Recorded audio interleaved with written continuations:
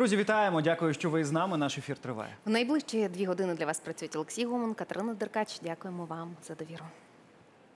Бутафорні та недієві. Росія швидко пристосовується до впливу міжнародних санкцій і також швидко їх обходить. Журналісти видання Bloomberg проаналізували, що, попри обмеження, російська економіка може повернутися до довоєнного рівня вже у 2024 році. Аргументують тим, що збільшення витрат на оборону простимулювало промислове виробництво, зокрема на тлі збільшених витрат Москви на соцпідтримку та підвищення зарплат значно виріс споживчий попит. Та все ж таки санкції мають ефект для Росії. І так, от минулого тижня, попри намагання Кремля імітувати повне благополуччя, російський рубль пробив дно відносно долара.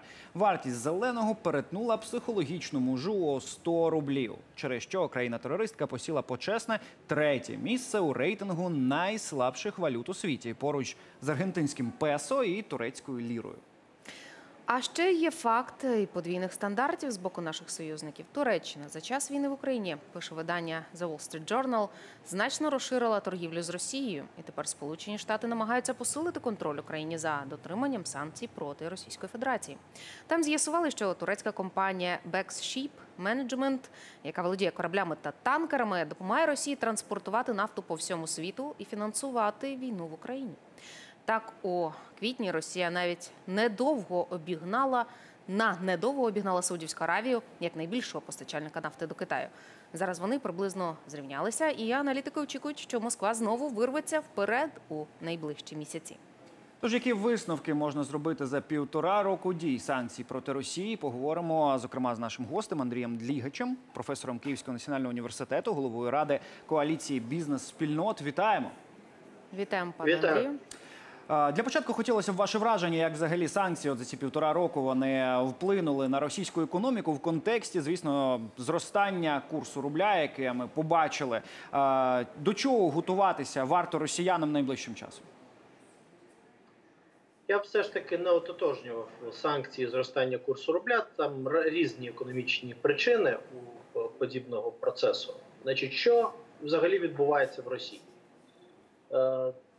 Зменшилися надходження до державного бюджету саме через те, що тепер Росія змушена ключову свою експортну виручку і е, ключову частину формування е, доходної частини бюджету, а саме е, нафта і газ, які продавалися в Європу, продавати дешевше по зниженій світовій ціні, але ще й додаючи е, знижку в розмірі аж до 30%, продавати Індії, Китаю, країнам е, Південно-Східної Азії, тобто суттєво дешевше. І більше того, продавати вже не за, не за євро, не за долари, а продавати за рупії, за юані, за інший тип валют. Відповідно, все це призвело до того, що в Центральному банку Росії, а разом з замороженням золотовалютних резервів Центрального банку Росії, е, в Росії виявилась нестача валют.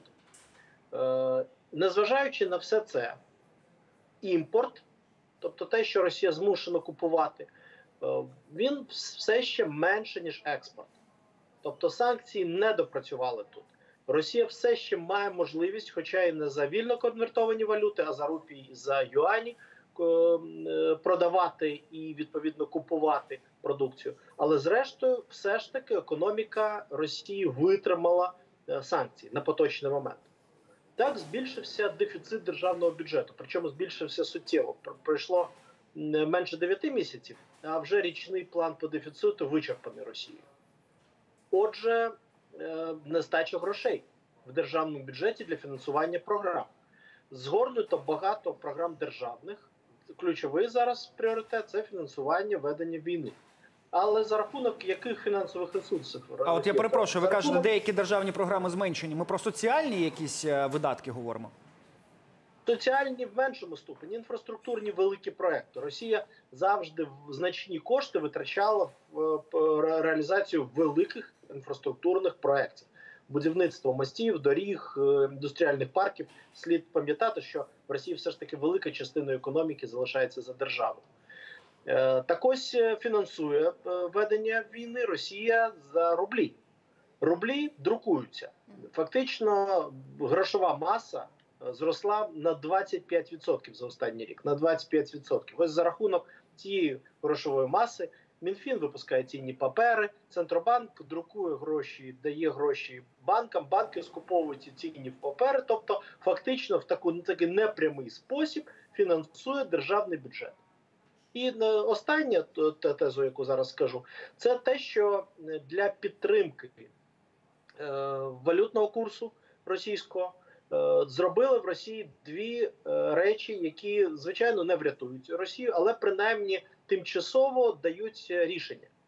Це збільшення ставки ключової ставки центрального банку, який е, за рахунок якого з одного боку призупиняється інфляція і відповідно зростання е, курсу рубля, а- а з, курсу долара по відношенню до рубля.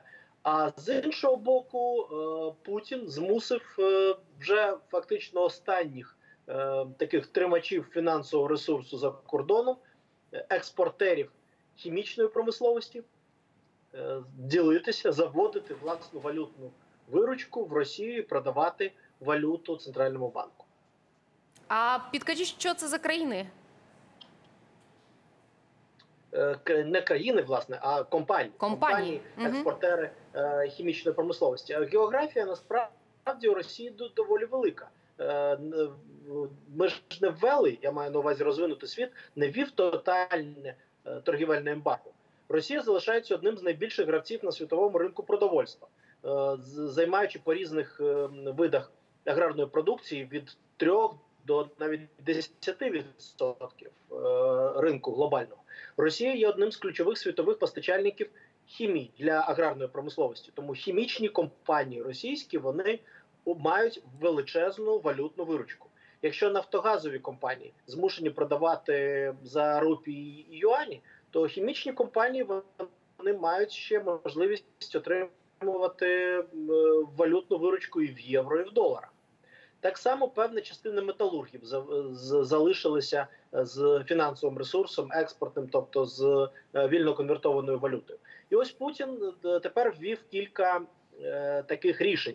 Одне з цих рішень це введення е, такого податку, тимчасового одноразового податку е, в січні 24-го року е, на де- 10% е, е, прибутку подібних компаній.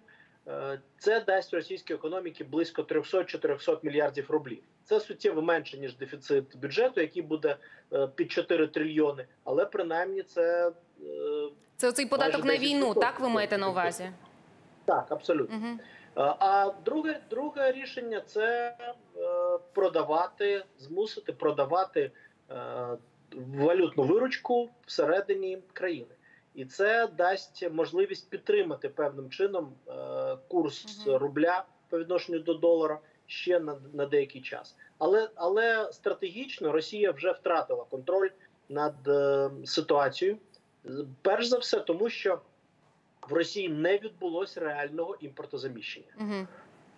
Про це про це говорили багато багато років. Починаючи з 2014 року, було багато стратегій, спрямованих на те, щоб мінімізувати світові санкції. Але коли санкції почали реально працювати, виявилося, що в Росії не спрацювало імпортозаміщення ані в військовій промисловості, в військово-промисловому комплексі, ані в споживчих товарах.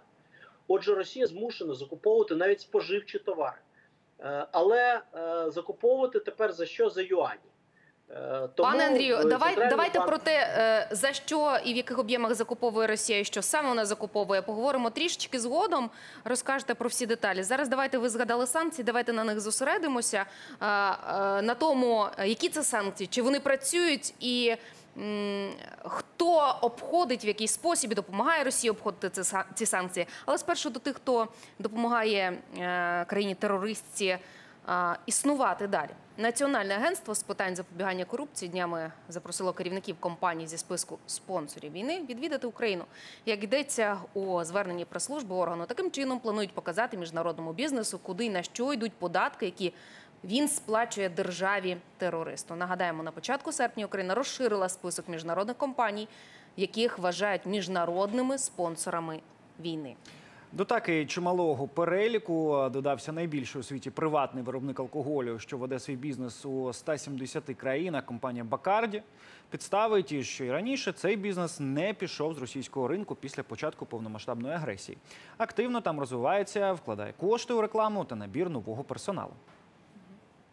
Загалом у списку спонсора війни, який складає і веде Нацагентство боротьби з корупцією, вже кілька десятків іноземних та міжнародних бізнес-структур. Серед них такі відомі компанії на світовому ринку, як Leroy Merlin, Bondюель, Procter Gamble, Ашан, Метро, Райфайзенбанк. Втім, попри жорстку оцінку з боку НАЗК, усі ці компанії продовжують вільно працювати в Україні. Про це зокрема поговоримо з нашим гостем студії Ігор Петренко. Вітаємо вас, Вітаю політолог. Отже, пане Ігорю, е, власне, чому ці компанії, міжнародні компанії, крупні, всесвітньо знані, чому вони продовжують, попри те, що стільки разів їм доносилося, і це вже настільки очевидно, що підтримувати, працювати в Росії, це означає, що підтримувати війну, це означає годувати е, російський бюджет, сплачувати податки і відтак фінансувати війну. Чому ці компанії досі працюють в Росії? Нічого особистого, чисто бізнес. Ну, все, все доволі очевидно, да, тому що, вочевидь, вони дослідили і зрозуміли, що продовжувати відповідно працювати і заробляти на цьому ринку е, їм набагато краще, ніж е, мати шлейф токсичності е, роботи в самій відповідно Російській Федерації. Плюс, все ж таки, тут теж накладається ще контур санкційний, оскільки так, санкції дійсно вони працюють, але вони є відповідно недостатніми. І в тому числі для ну не безпосередньо для цих компаній, да, оскільки вони ж багато про що розповідають. Вони кажуть, що вони, значить, надають товари першої необхідності, що значить без них там росіяни не можуть, а це типу аля там негуманно і все таке інше. Ну тобто багато виправдань, звичайно, що можна знайти. Але дійсно це Це ми про що? Про, е, про компанію Бакарді, виробник алкоголю. Це найперше необхідне товари першої необхідності Ну, для Росії. росіян можливо. Я думаю, Мгм. бояришник у них є, то в принципі їм е, і це підійде, так. Але інше там Procter Gamble, там Ашан, типу, от ми там продукти постачаємо товари. І такі побутові відповідно е, товари. А що стосується відповідно України, то звичайно ми не можемо заборонити роботу відповідно цих е, компаній, тому що в принципі немає правових підстав. Для цього потрібен відповідний механізм. е, Тоді це треба вносити безпосередньо ці компанії або в санкційний е, список, да, або називати їх відповідним чином юридично оформлювати як спонсорів там тероризму і так далі. Цього безумовно поки що відповідно е, не робиться. Ну ми з вами, як українці, звичайно, можемо ігнорувати такі компанії, їх е, не купувати. Мгм. Ну але як я бачу, не завжди теж відповідно ми. На це можемо йти. Плюс вони ще багато що розповідають, кажуть, що ми там це різні юридичні особи, що ми там майже не пов'язані, це окремий там бізнес, чи там франшизи і так далі. Ми до них не маємо нічого там спільного і все таке інше. В той же час ми маємо дійсно багато прецедентів великих теж компаній, які пішли, тому що для них все ж таки цей шлейф токсичності він набагато гірше б'є, наприклад, по тому ж там фондовому ринку, да, або по якихось інших е, е, моментах. Е, Тому тут ключове все ж таки, на мій погляд, це питання якраз відповідно санкційного тиску, його поки що недостатності. Особливо це вторинних санкцій. Знову ж таки, цих компаній безпосередньо це не буде стосуватися, але ті компанії, які намагаються постачати товари подвійного призначення або допомагати Російській Федерації обходити вже наявні санкції. е, Чим більше буде таких прецедентів, е, тим всі будуть е, розуміти, в тому числі ці от міжнародні компанії в Росії, що ну нічого не налагоджується, що ситуація буде гірше, і дійсно можна нарватися на доволі серйозні відповідно проблеми. Поки для них рівень ризику е, безпосередньо для цих компаній, вочевидь, є прийнятним продовжувати відповідно працювати. Плюс вони ж отримують додатковий бонус в зв'язку з тим, що конкуренти деякі вони йдуть відповідно, да, тобто в них немає там конкуренції, попит залишається, купівельна спроможність у росіян можливо і падає, але все одно вона ще залишається для ну, купівлі вона навпаки зросла товарів і так на далі. тлі зростання зарплат, принаймні так свідчать дані дослідження на тлі Ну, зростання Москва- зарплат і соцвиплат. Москва, Але Москва це звичайно. інша Москва Росія, це, звичайно, да, це інша абсолютно держава відповідно в е, державі. Плюс в Російській Федерації е, ну такий факт є. Да, наприклад, е, Мерседес, да, вони там пішли, значить, з Російської Федерації, відключили від е, технічного забезпечення обслуговування, точніше, автомобілі, які є. І на сьогоднішній день росіяни спокійно їздять і спокійно їздять в Казахстан на сертифіковані. Ну, от, станції, і там відповідно обслуговують. Да, це нещодавно був- незручно, да, це додаткові там витрати, да, це більше коштів, але можливість все одно відповідно така залишається. Нещодавно був форум армія 2023 в Росії. Там е, екс-президент країни-терористки, а нині заступник е, голови Радбезу Росії, попри всі заклики Путіна про те, що чиновники мають Любитель пересісти, Бакарді пересісти інших на так, пересісти на вітчизняний автопром. Наприклад, от е, Медведєв приїхав показово на Мерседесі. Певно, що от обслуговувати саме можна і в третіх країнах. Ну, Правильно? звичайно. Щойно да, з да, Казахстану. Да, да. Скаже, що просто леби поміняв. Е, Проблема, якраз я думаю, більше здебільшого вона полягає якраз в площині от санкційного тиску. Е, Є у нас група ж Макфола відповідно Єрмака. Там є напрацювання, є, е, скажімо, врахування всіх цих лазівок е, і є певні рекомендації, як це відповідно можна е, зробити. Тут ключове все ж таки поки що це не наявність оцих от компаній, які ви до цього перераховували. Це питання постачання тієї продукції, яка використовується Російською Федерацією безпосередньо військово-промисловому Так, комплексі. давайте от про це детальніше будемо говорити окремо. Зараз маємо змогу долучити до нашої розмови Станіслава Станіслава Желіховського, кандидата політичних наук, експерта міжнародника. Вітаємо. Вітаю студія. Пане Станіславе, якщо говорити про те, що ми зараз ми можемо підбити підсумки вже е, дієвості санкцій за ці півтора року, бачили понад 10 пакетів, які, от якщо так коротко, які вам е, здаються найбільш болючими для Російської Федерації, які реально діють, скажімо так, ну по максимуму, наскільки це можливо, і які можна назвати, які навпаки Росія настільки навчилася обходити, що за великим рахунком їх продовження вже майже не несе ніякого сенсу.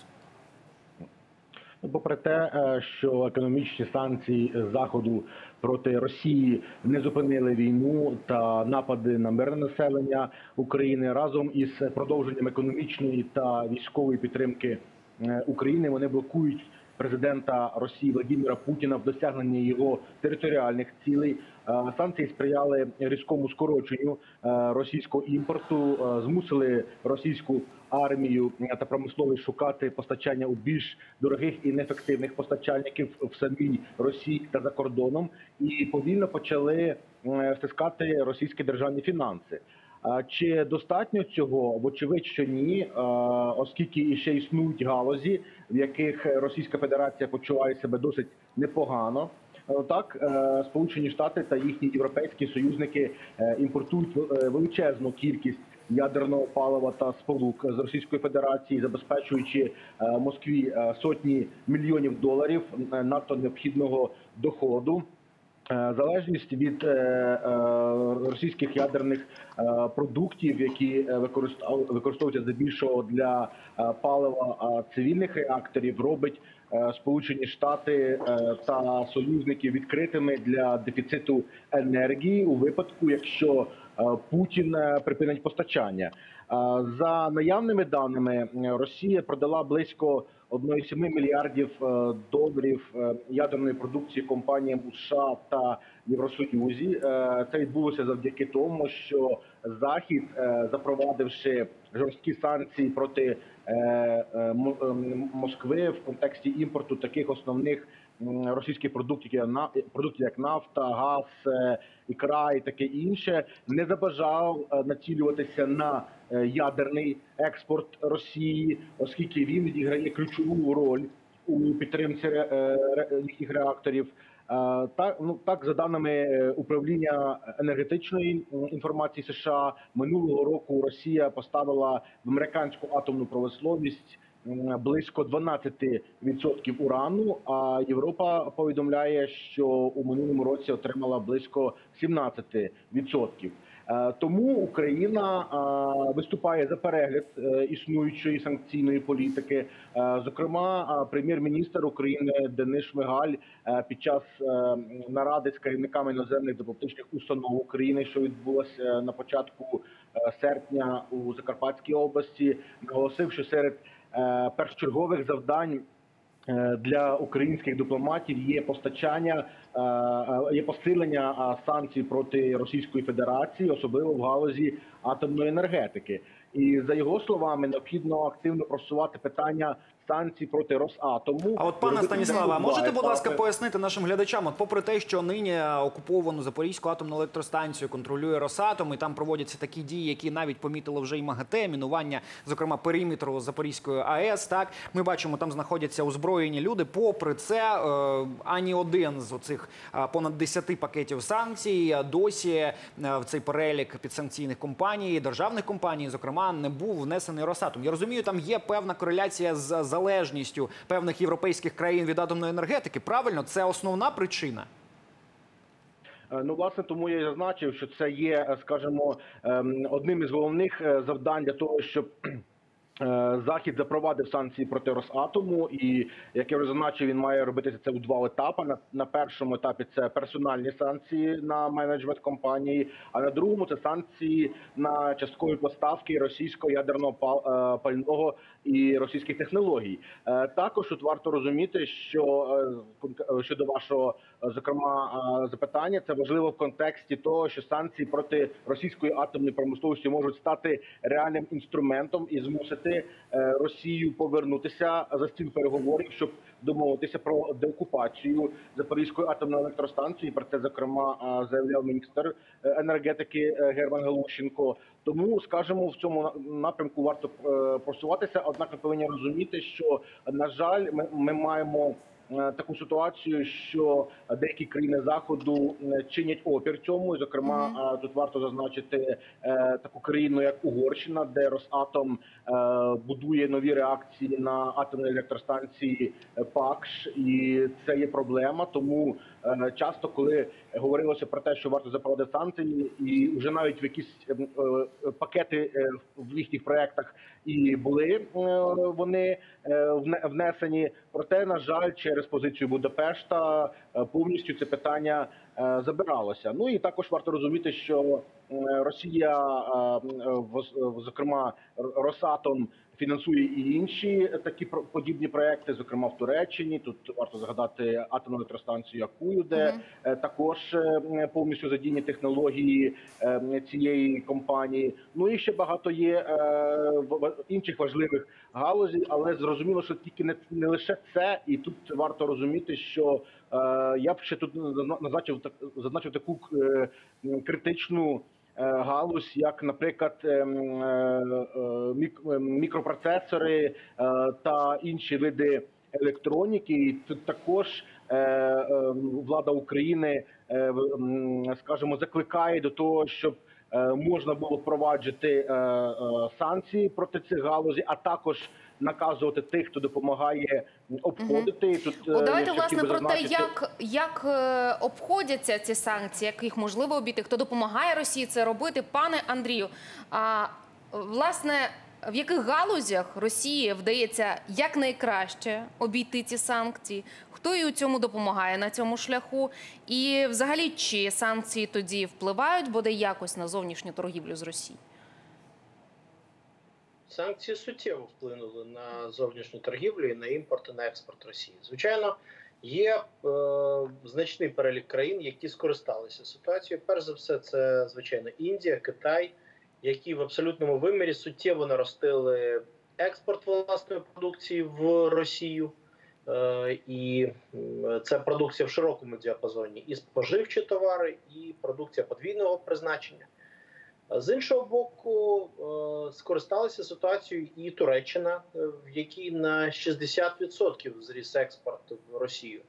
Казахстан, Киргизстан, Вірменія, е, Узбекистан всі ці країни збільшили іноді навіть в два рази власні постачання до Росії. Але які власні постачання? Звичайно, це ж не, не, не збільшення виробництва всередині цих країн. Це перш за все, ось той сам самий подвійний чи паралельний чи вторинний експорт в, різних випадках по-різному. Е, п- п- Паралельний це е, фактично обхід санкцій е, або е, вторинний експорт, коли безпосередньо країни е, не хочуть торгувати з Росією, але використовуючи логістичні потоки через Вірменію чи через Казахстан, е, роблять це.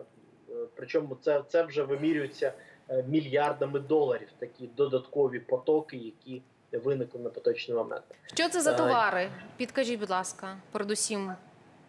Весь- Весь передусім це споживчі товари, насправді Не- товари військово військово промислового комплексу. Уявіть собі, що в Росії споживчий кошик на 40% зараз складається з імпорту. На 40%. Він завжди залежав суттєво від імпорту. Це, до речі, до нашої попередньої дискусії про курс рубля. Е, Отже, коли е, курс е, летить кудись вгору, то виявляється, що здорожчується імпорт, здорожчується споживча корзинка і розгортається інфляція. Якщо курс виходить за межі в 100 рублів за долар, то споживча інфляція розгортається до 20 і більше відсотків. А це вже може призвести або до пустих поличок, або до е, невдоволення е, зростань, суттєвим зростанням цін. Відповідно, що робить зараз центральний банк і уряд Росії, намагаються, намагаються стримати рубль е, і тим самим здешевити імпортні товари для е, росіян. Але це виходить доволі доволі погано, тому що, ну, по-перше, якість товарів е, знижується, бо, бо тепер замість європейських товарів, хоча там тисяча компаній ще е, європейських глобальних залишилися на російському ринку, і це вкрай погано, е, це, це вже обговорювалося.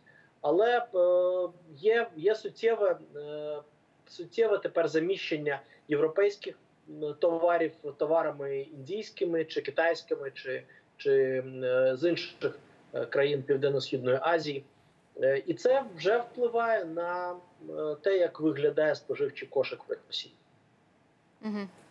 Давайте поговоримо трошки тепер про безпосередньо те, що хвилює нас в контексті війни проти України. Розуміємо, що в офісі президента України, зокрема, говорили неодноразово про те, що зокрема в безпілотних літальних апаратах, в зброї е, важкій техніці використовуються зокрема і мікрочіпи, і певні складові, е, і не лише там з однієї країни чи двох, наприклад, там да КНДР або там не знаю, якісь партнери е, африканські Російської Федерації. А насправді там є певні деталі, які навіть зі Сполучених Штатів тощо.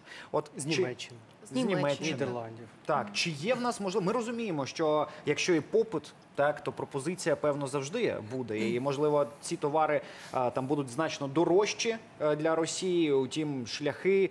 е, Якими шляхами так ці е, мікрочіпи, наприклад, там і деталі для російських безпілотників, вони дістаються Російської Федерації? Ну, тут шлях він зрозумілий, то це не, секрет Полішинелі. Є насправді дуже багато розслідувань, журналістських в тому числі, які якраз показують.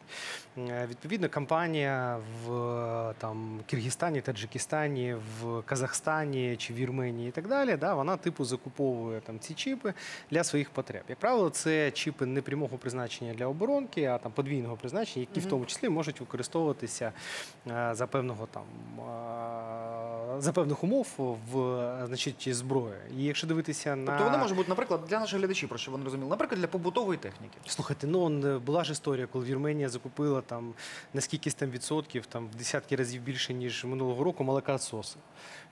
Тому що чіпи ці підходили для певних видів озброєння, і потім вони їх відповідно продавали в е, Російську Федерацію. Зараз я думаю, що навіть менше вже йде такий прихований шлях. е, Ніколи просто самі чіпи навіть закупують, не готову там продукцію, а чіпи. І ця країна, яка їх закуповує, потім е, через різні шляхи, в тому числі контрабанду, постачає їх відповідно до Російської Федерації. Зрозуміло, що якщо дивитися на структуру, ну якщо це буде там нехай або там Казахстан, або там Таджикистан, чи ну немає значення, яка країна, якщо вона раніше закуповувала там е, цих чіпів там зовсім трішки, да, або якщо взагалі в неї немає такого виробництва, де вона може використовувати ці чіпи, це мають ставитися питання. Е, І в принципі ці рекомендації є. Група Макфола і Єрмака вони відповідно розроблені, що можна або лімітувати, наприклад, е, намагатися, да, або необхідно буде відповідний сертифікат кінцевої продукції, в якій буде стояти цей сертифікат. Тобто ці ідеї є, вони значить обговорюються в останньому санкційному пакеті. Європейського союзу так само е, говориться, що там спочатку консультації, потім, значить, якщо консультації значить, не допомагають, то тоді вже будуть е, е, інші відповідно впливи і так далі. Але поки що цей механізм він є все ж таки відповідно м'яким. Зрозуміло, що дивіться, от повністю перекрити постачання в Російську Федерацію там чіпів і інших подарів товарів подвійного призначення неможливо. Світ є глобальний, ринки є глобальні. Да? Тобто обмежувати можна, звичайно, намагатися контролювати так само.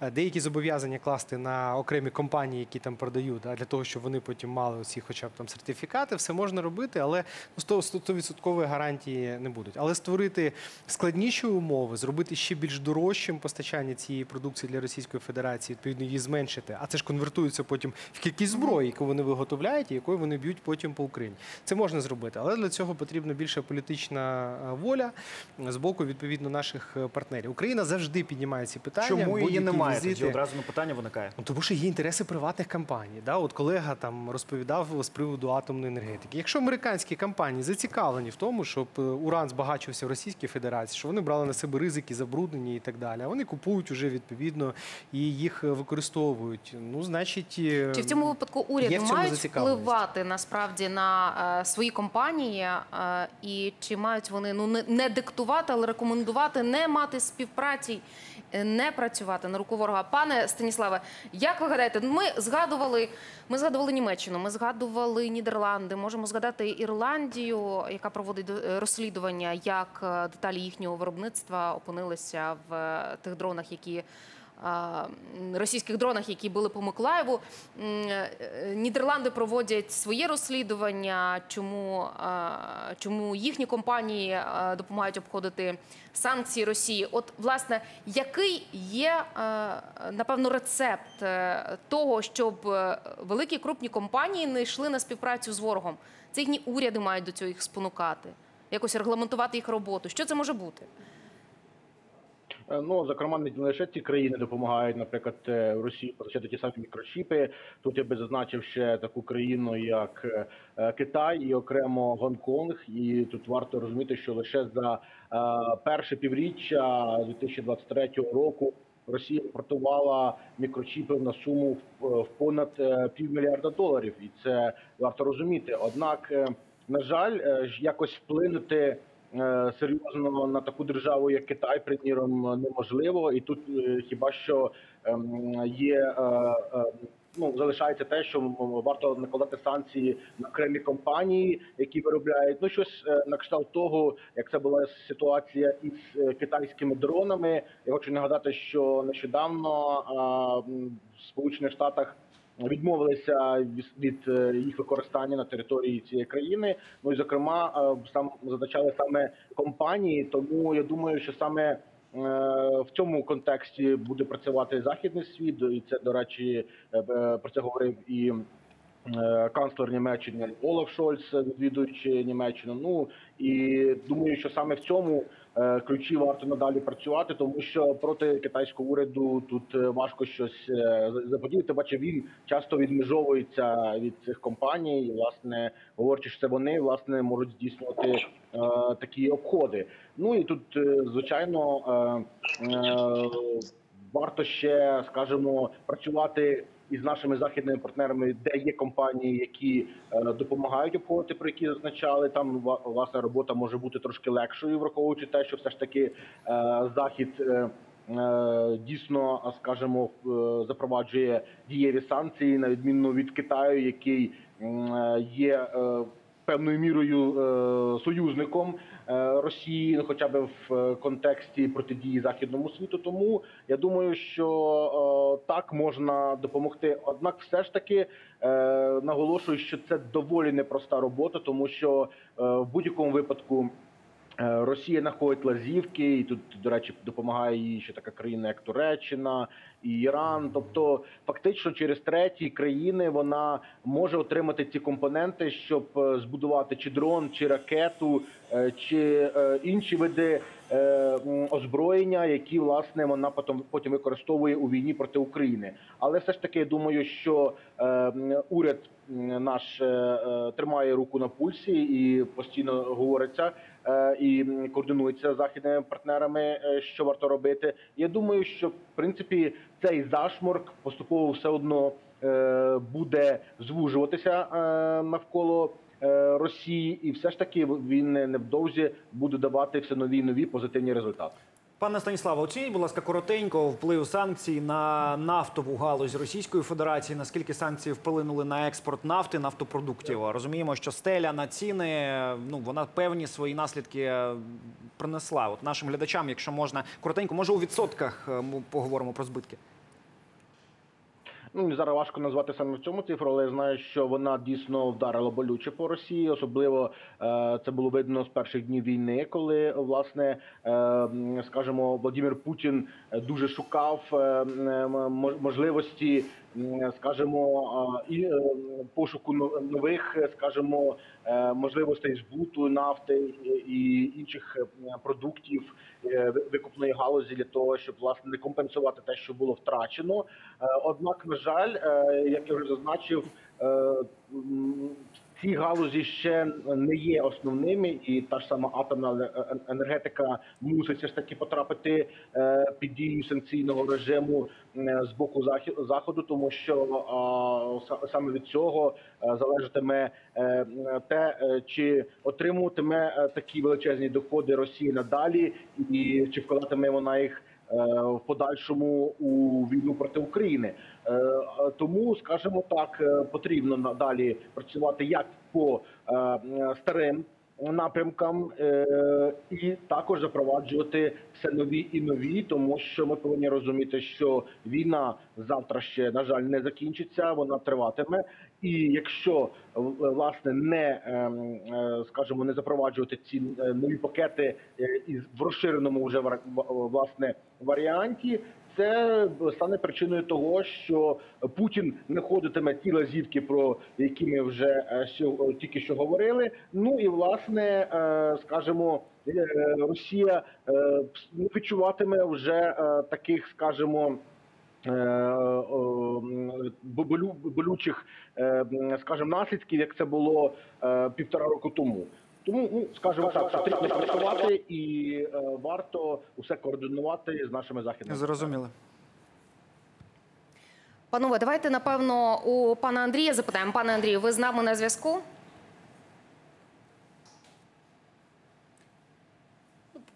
Поки доєднуємо, от просто про нафтовий експорт говорили Росії. Бачимо, як е, е, після того, як, е, скажімо так, дружні сили України так підбили е, російський танкер нафтовий. е, Наскільки ми можемо говорити про те, що експорт російської нафти Чорним морем, зокрема, може бути ускладнений? Які проблеми взагалі ми можемо створити нафтовому експорту нашій акваторії? Ну, наприклад? тут мова не лише про нафтовий насправді експорт, тому що дійсно, скажімо, е, перевіз будь-якої продукції Чорним морем е, він е, є ризикованим насправді для Російської Федерації. І тут вони якраз самі собі стрі- стрільнули в ногу своїми необережними заявами. Да? По-перше, виходом зернової ініціативи. Потім в них була заява з приводу того, що ми будемо значить, всі кораблі, які йдуть до українських портів, вважати там військовими цілями. Потім вони виправилися, сказали, що ми не то, що будемо їх уражати, але будемо всі, значить, там переглядати їх, там контролювати і так далі. Свого боку, Україна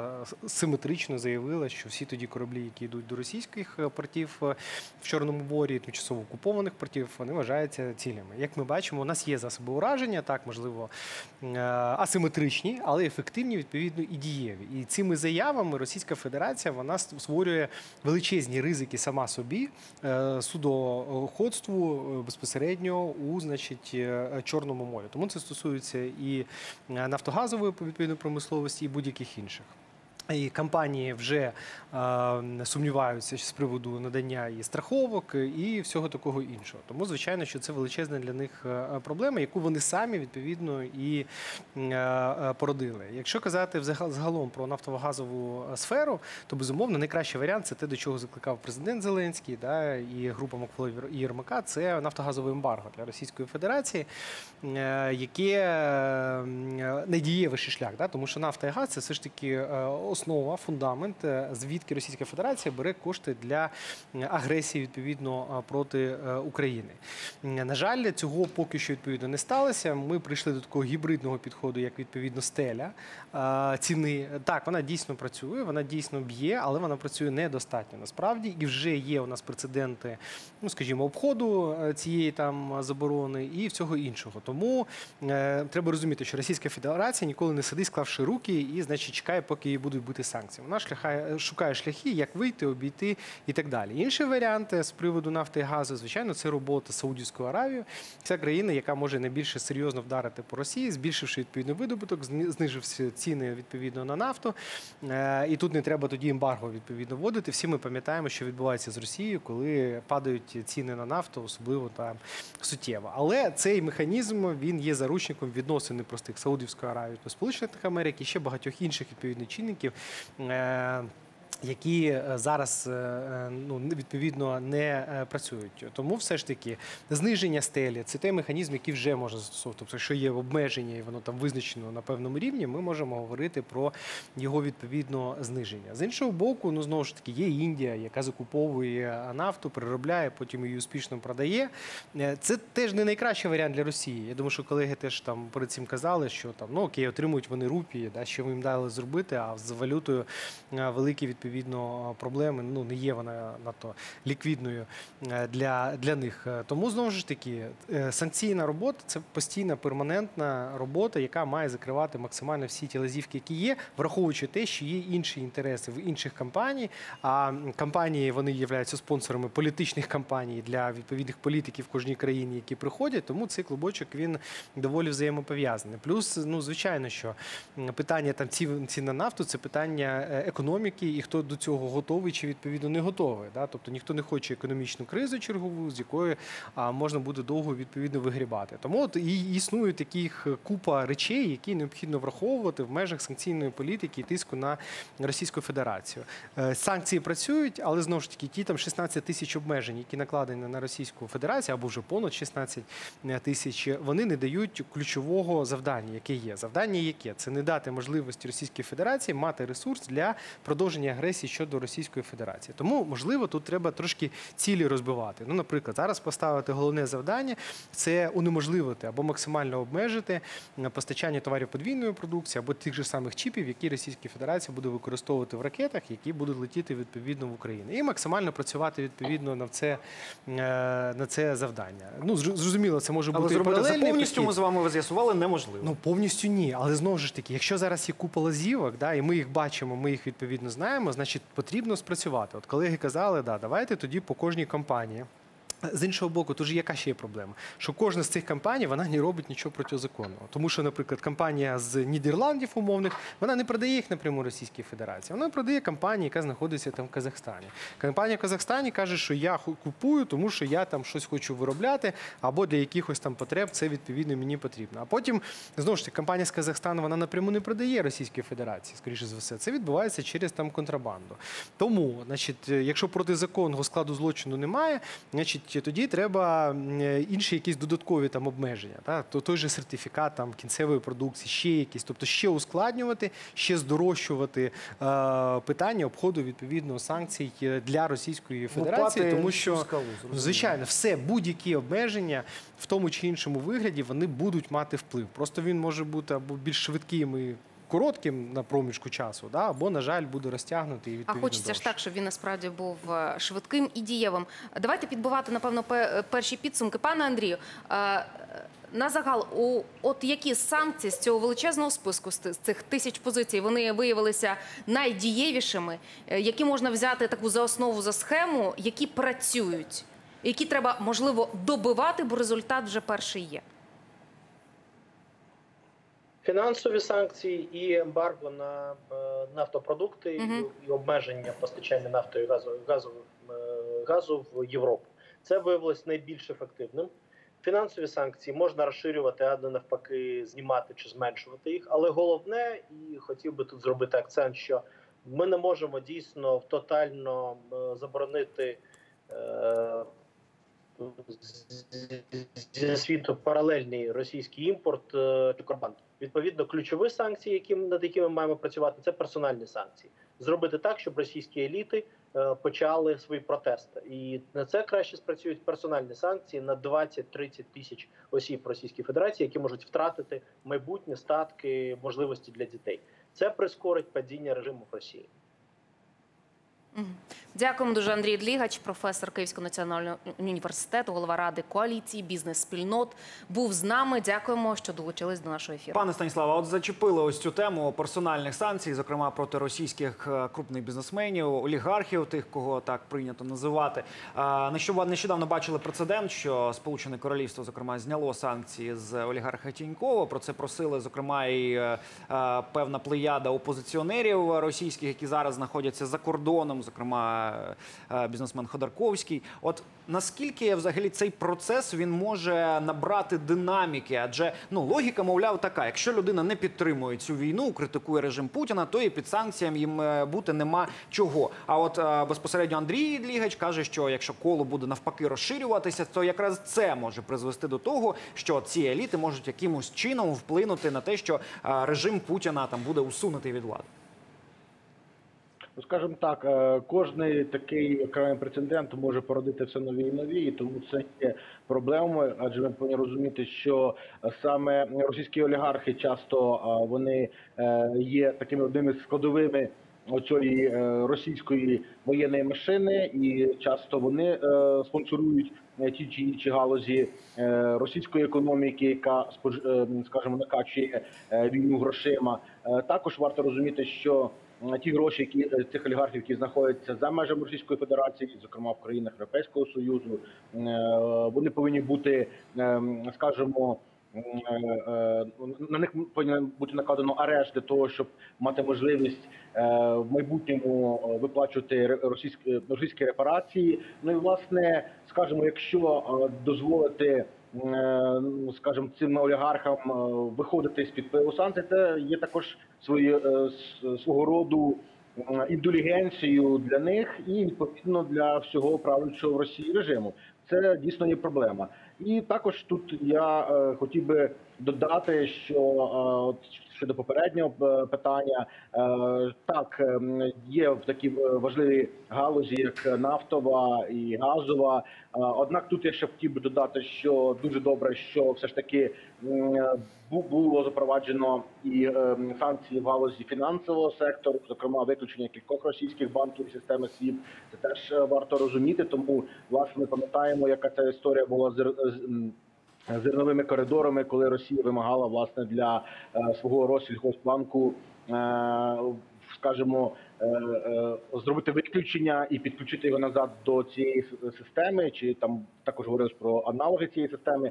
Ну тобто, значить, це є дійсно болючим ударом по Путіна, якщо він навіть пішов на такий крок, як шантаж е, в контексті зернової угоди. Ну і якщо брати ще політичну складову, тут тільки що згадалося про е, те, що можливі там е, різні ем, фінансування е, партій і все інше в. е, в Європейському Союзі, ну тут я б зазначив, що е, дуже е, добрим було кроком це е, призупинення мовлення е, та ліцензій кількох е, підтримуваних е, Кремлем пропагандистських змі е, на території так того ж самого Європейського союзу. Це також Так, дало пам'ятаємо ці прецеденти. більш адекватно. Да, будемо сподіватися, що це Е, коло підсанкційних осіб буде розширюватися. Так. На жаль, трошки обмежені в часі. Тобто це- Дякуємо. тобто- Дякуємо, пане. Станіславе. Станіслав Желіховський, кандидат політичних наук, експерт міжнародник, долучався до нашого ефіру. Ми зараз до слова можемо продовжити тему е, лазівок, які е, знаходить Росія для того, щоб обходити санкції. От як повідомив керівник офісу президента України Андрій Єрмак, у безпілотнику ланцет, який окупанти активно застосовують на фронті, виявлено щонайменше 19 іноземних електронних деталей. Те про що ми зокрема говорили. Західні експерти підтверджують цю інформацію. За даними видання Frankfurter Allgemeine, цей тунг в російських крилатих ракетах Х-101, балістичних іскандерах та гіперзвуковому кинджалі знайдено компоненти американського, швейцарського, японського та німецького виробництва. Росія зазвичай закуповує їх через фіктивні компанії в Китаї, Центральній Азії та Кавказькому регіоні. На цю тему поговоримо із Лесею Дубенко, політологом, міжнародницею, журналісткою Київ Пост. Пані Лесю, вітаємо вас. Доброго дня. Я вже не журналістка Kyiv Post, але дякую. А, так, Давайте тоді коректний титр використаємо. Ви а, зараз Я просто зараз співпрацюю з різними виданнями, Мгм. зокрема Financial Times і Politico Europe. Клас, О, помічають, прекрасно. помічають Politico та Financial Times, як Росія обходить західні санкції, зокрема в контексті ем, складових для вироблення безпілотників. А, власне, ну про те, що це ну все про все це говорилося вже. Зазначали інші гості, так що насправді ситуація така, що дійсно Росія дані санкції, і це є проблемою, адже лазівок дуже багато.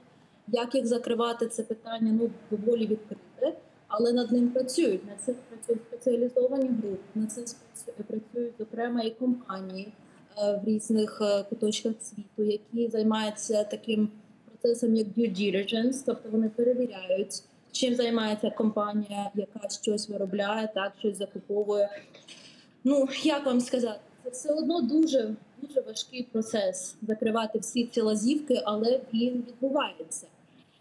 Тобто, це те, що можна зазначити з позитивного.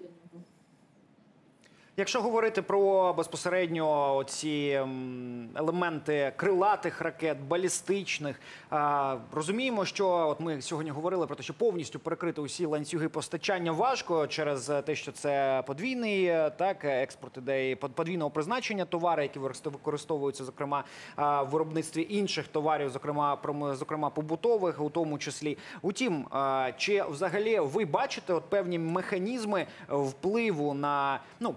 По-перше, люди хочуть заробляти гроші, і це логічно. І вони реально, якщо не продають ці товари Росія, продають третім країнам, то нібито механізмів впливу на них немає. Утім, якщо говорити про ймовірно якесь сприяння з боку держави, е, можливо, не е, як то кажуть, кнутом, а якимось пряником, як можна стимулювати компанії, все ж таки не брати участь у цих схемах, адже ну здебільшого вони ж розуміють, що ці товари потім рухаються в бік країни терористки. Розумієте, для деяких гроші не пахнуть, тому тут дуже важко е, якось вам надати якийсь рецепт, як їх стимулювати е, цього не робити. Тобто цим тільки можуть займатися якісь профільні відомства а, за кордоном, тобто так е, на заході також, які дійсно ну, перевіряють ці компанії, якщо це навіть можливо. Ну, це важко, тому що вони теж оперують доволі так, знаєте, професійно. Але важко сказати, чи можна стимулювати якось тут цей процес. Адже на війні, на жаль, багато хто збагачується, будемо казати чесно. Загалом, пані Лесю, якщо говорити про нові пакети санкцій, е, на чому вони мають бути зосереджені? Минулого разу говорили про те, що мовляв розширювати перелік е, підсанкційних галузей. А це важливо. Утім, важливіше проконтролювати якраз дотримання попередніх. Але якщо говорити про нові пакети, за вашими спостереженнями, які е, нові, скажімо так, санкції проти Російської Федерації можуть бути дієвими та вдарять, зокрема, по спроможності Росії вести ну в, такому інтенсивному темпі цю війну. Ну мені здається, що нові пакети, поки що може і не потрібно. Дійсно потрібно працювати над тим, е, щоб закривати ті вже існуючі е, лазейки, так тому що е, насправді пакетів було вже прийнято багато. І їх дуже важко приймати, як ви бачите, тому що ну в тому ж європейському союзі є такі державі держави-члени, як Угорщина, і кожен пакет перетворюється в якісь, знаєте, ігри е, по шантажу, можна так це назвати. Тобто, мені здається, що потрібно дійсно фокусуватися на існуючих пакетах. До того ж, я вам скажу, що на е, за моїми спостереженнями найкраще насправді проводить санкційну політику сама Росія проти себе. Тобто, оскільки у неї така, знаєте, політика міжнародна. Вона полягає в тому, або шантажувати, або під когось а, підкупляти, то у них якось це зараз менше виходить, як раніше. Тому що навіть згадаємо, як вони ну майже тероризували Європейський Союз тими заявами, що усі люди в Європейському Союзі там замерзнуть зимою і так далі. Цього не сталося. І от нещодавно якраз е, е, президентка Єврокомісії Урсула фон дер Ляєн вона заявила, що газові сховища майже заповнені. Тобто їх політика шантажу постійного е, і підкупу, вона знаєте, ну дає якийсь протилежний ефект, тому що люди теж підлаштовуються під це. Ніхто не хоче замерзати, і всі шукають якісь інші виходи ситуації. Е, Я вам скажу, що це також було видно під час е, нещодавнього саміту Росія-Африка, коли знаєте, ну це так презентувалося зі сторони Росії, що ось приїжджають африканські країни, ми з ними дружимо. Але ті заяви, ті заяви, які пролунали під час саміту, вони були зовсім не дружні по відношенню до Росії. На насправді там було багато такої риторики, наприклад, коли ем, очільники держав не тільки, або там там навіть не всі очільники приїхали, багато хто не приїхав. І ем, коли вони називали війну е, війну війною, а це важливо, тому що російська пропаганда хоче, щоб цю війну називали СВО, так але е, вони називали її війною. Вони вимагали того, щоб зернові коридори були продовжені. Тобто, ця політика вона дає якийсь такий ефект е, зворотній, і це на, на, на мій погляд насправді найкраща санкція. Розуміємо, розуміємо. Дякую, дякую за таку точку зору, пані Лесю. Леся Дубенко, політолог, міжнародник, журналіст, долучався до нашого ефіру. Дякуємо. Пане Ігорю, хотілося б підбивати підсумки. І врешті ми маємо так, одна з головних тез правильно зосереджуватися і на виконанні. По-перше, розуміти, що санкції не є абсолютним механізмом для того, щоб Росія не могла вести цю війну. Утім, маємо це коло розширювати, адже кожне ускладнення це все одно позитив, наскільки я розумію. Тобто, якщо резюмувати, будь ласка. Ну, безумовно, дивіться, зараз що ми робимо? Ми е, беремо ті ем, ракети, які прилітають по Україні, розбираємо їх відповідно, досліджуємо і показуємо кожній, значить, компанії, яка вже е, яка їх виробляє. Е, Що ну дивіться, от вона використовує у нас відповідно зафіксовано. Да, тобто вони не можуть вже сказати, а ми не знаємо, що, а може це не наші якісь компоненти і так далі. Ви ж пам'ятаєте, теж на початках тоді ще вторгнення, коли розбирали потім автомобілі, дивилися, і там там Bosch щось там робили, ще щось відповідно постачання було. Хоча це те, що було заборонено ще з 2014 чи 2015 року, чи 2016, коли були попередні санкції відповідно накладалися. І це змусить все ж таки компанії, відповідальні компанії, звертати на це увагу. І знову ж таки е, в наступному, можливо, санкційних пакетах це ж те- теж буде враховано. Це сертифікат кінцевої там продукції і багато чого і іншого. Звичайно, для нас ключове це все ж таки зараз бити по е, погоджуюся от з паном Длігачем. По персональним санкціям, але я бив би не стільки по олігархам, тому що олігархат в Російській Федерації він слабкий, скільки по силовикам, по ФСБшникам.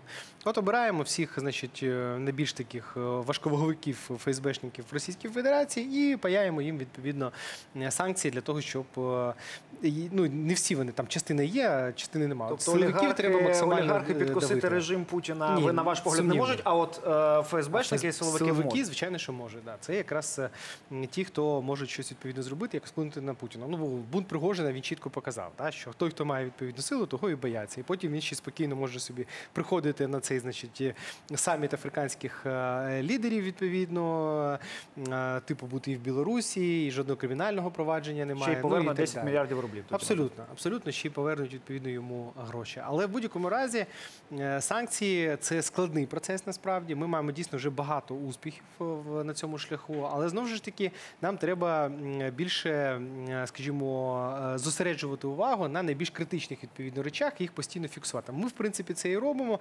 І тут уже м'яч більше на полі наших відповідно партнерів, які мають відреагувати. Дякуємо вам. Дякую. Ігор Петренко, політолог, допомагав розбиратися у тих процесах, які зараз ідуть в е, санкційному, скажімо так, контексті. Будемо рухатися далі. е, Будемо говорити теж про дипломатію лише в іншому вже аспекті, зокрема е, щодо таких пересторог Міністерства закордонних справ України, де твердять, що на Україну чекають.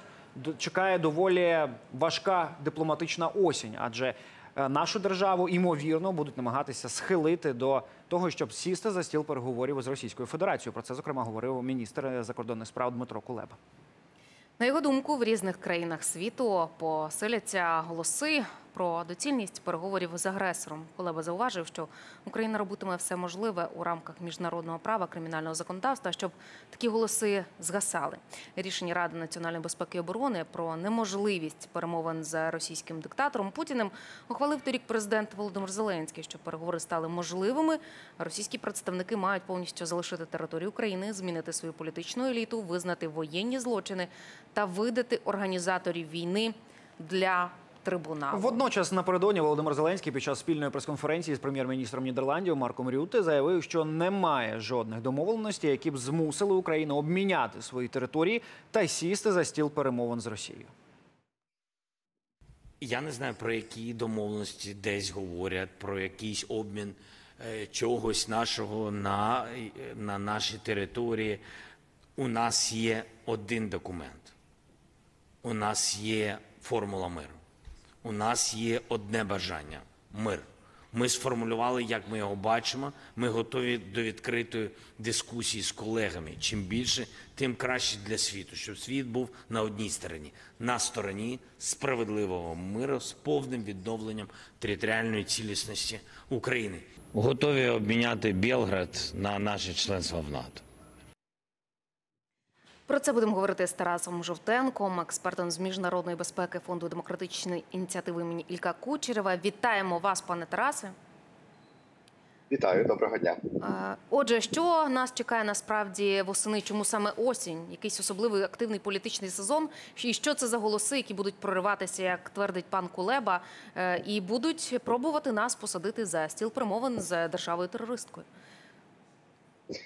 Ну, власне, кілька моментів, які, е, на мою думку, будуть на це впливати. Е, Перший момент, е, ну він такий більш загальний світоглядний. Ми не повинні забувати, що насправді всі наші західні союзники вони так чи інакше бачать завершення цієї війни і перемогу України як кінцевий результат, який має бути закріплений в фіналі політико-дипломатичними інструментами. Тобто, ну не дарма наші західні союзники називають себе цивілізованим світом. Вони розглядають військову силу і відповідно воєнну допомогу Україні як один з інструментів тиску на е, режим Путіна. І власне е, цей інструмент він має теж бути використаний як і успіх України на полі бою, зрештою для того, щоб в політико-дипломатичній площині врегульовувати всю цю ситуацію. Тобто, так чи інакше, ми повинні пам'ятати, що наші союзники вони е, мають саме такі пріоритети. Тобто, це не воєнний розгром е, російської армії на території України і не е, перемога суто воєнним інструментарієм. Так, це все таки більш цивілізований підхід до врегулювання е, цієї війни. Тобто, е, ну ті пріоритети вони насправді нікуди не діваються, і власне е, ми теж е, на них в принципі погодилися, е, сформулювавши власний план справедливого миру. І другий момент, який теж в загальному впливає на всю цю ситуацію, це він теж пов'язаний з тим, що наші союзники це демократичні країни, де обговорюються абсолютно різні сценарії, різні підходи, різні думки до російсько-української війни. Ну і зрештою до її завершення. Тобто, так чи інакше. Е, Голоси, е, які не зовсім, скажімо так, суголосні українському плану справедливого миру, офіційній позиції наших західних союзників, вони так чи інакше лунали, лунають і будуть лунати, тому що знову ж це демократичні країни, де е, це є частиною демократичного обговорення. Ну і якщо говорити безпосередньо от про цей е, осінній період, це старт політичного сезону і в нас, і в наших західних союзників. Цей старт політичного сезону накладається на фактично е, початок передвиборчої президентської кампанії в Сполучених Штатах Америки, ключовій державі, де е, західного світу, де насправді фактор російсько-української війни буде відігравати одну із центральних ролей. Насправді так і в зв'язку з цим всі питання, які пов'язані із е, результатами українського контрнаступу, з успіхами України на фронті, вони насправді будуть е, впливати як в один, так і в інший бік. Тобто вони будуть з одного боку використовуватися для того, щоб посилювати аргументи на посилення військової допомоги Україні, але з іншого боку, звичайно ж, вони будуть викликати питання, які пов'язані із е, можливо іншим форматом завершення цієї війни, які пов'язані от саме з тим, про що говорить пан Кулеба. Пане Тарасе, а які країни, голоси яких країн ми почуємо а, особливо активно? Хто буде промовляти, саджати, пробувати саджати нас е, за стіл перемовин? Ви б кого ви окремили? Ви знаєте, я думаю, що ну коли ми говоримо про голоси країн, ми повинні пам'ятати, що це точно не будуть офіційні позиції президентів або глав урядів цих держав. Мгм. Тобто офіційні позиції всіх е, наших союзників вони зводяться до того, що, по-перше, тільки Україна визначає, е, коли і за яких умов сідати за стіл переговорів. І по-друге, е, ну дорожньою картою цих переговорів завершення війни має бути е, український план справедливого миру. Тобто ця позиція вона точно змінюватися не буде. Але опозиційні політики в е, західних країнах так е, вони однозначно будуть от ці питання піднімати. Тобто, ті голоси, які ми будемо чути, це будуть в першу чергу голоси опозиції до нинішніх правлячих партій у наших західних союзників. Ну і відповідно в тих країнах, які входять в передвиборчий цикл, як, наприклад, Польща, так ми будемо розуміти, що ці голоси вони будуть лунати і вони будуть лунати активніше і голосніше ніж в країнах, де виборів не буде, і це буде просто частина соціального політичного процесу. От ви згадали Тільки хотіла запитати, чи можемо список із п'яти щонайменше озвучити, але підозрюю, ви не беретеся цього списку складати. Чи можливо все ж А, Ну, ви ризикнемо? знаєте, е, ні, традиційно, ну ми ж ці всі країни насправді знаємо. Так Е, е, Угорщина, Угорщина. має таку дуже яскраву позицію, яка буде буде себе проявляти. Там сумнівів нема. Так країни. е, Країни, е, які знаходяться на е, самому самому крайньому заході Європи, там от італійські політики теж інколи Мгм. люблять е, говорити про такі речі. А в Німеччині досить серйозні проросійські сили і проросійська проросійська позиція. Сполучені Штати безумовно, ну там якби це. Російсько-українська війна там частина і передвиборчої кампанії, насправді президентської, і частина їхнього внутрішнього політичного дискурсу. Тому а, там е, теж ці голоси будуть лунати. Ну і в принципі, ми повинні розуміти, що е, ці голоси, крім того, що вони лунають як частина політичного дискурсу демократичних країн, а також е, не треба відкидати і російський гібридний вплив, який в різних країнах теж може по різному проявлятися, і підживлювати ці голоси насправді різними факторами зовнішнього впливу роботою російських спецслужб і так далі. Тобто, ну фактично, ми будемо розуміти, що росіяни будуть максимально використовувати цей період для того, щоб е, максимально активізувати е, от е, ті сили, які є проросійськими в країнах Західної Європи. Ну і відповідно пробувати виносити ці питання, питання дострокового завершення війни і не на умовах України, в хоча б десь там в. Топ 10 тем, які можуть бути обговорені в політикумі західних наших союзників. Дякуємо, пане Тарасе. Тарас Жовтенко, експерт з міжнародної безпеки фонду демократичні ініціативи імені Ілька Кучерєва, долучався до нашого ефіру. Насправді так, осінь буде дипломатично важка. Ми розуміємо це все ще і на фоні заяв, які пролунали, ну зокрема від конкретно однієї людини, голови канцелярії НАТО. Але є і позитивні новини у Сполучених Штатах, зокрема у Білому домі, ще раз підтвердили, будуть підтримувати Україну до перемоги. І нарешті ще раз озвучили, що будуть вважати за перемогу. Ну а це означає саме вивід російських військ. Ну а поки е, на дипломатичному, скажімо так, рівні Україна намагається залучи- залучити нових союзників, нові санкції, про які ми говорили раніше. е, Росіяни продовжують своїми терористичними діями просто вбивати мирних українців. І останні події стали просто наочним доказом е, того варварства, яке вже півтора року чинять росіяни проти нас. Ми про Чернігів. Удар по драмтеатру в цьому місті. Кількість постраждалих зросла до 156 осіб, повідомив заступник керівника офісу президента Олексій Кулеба.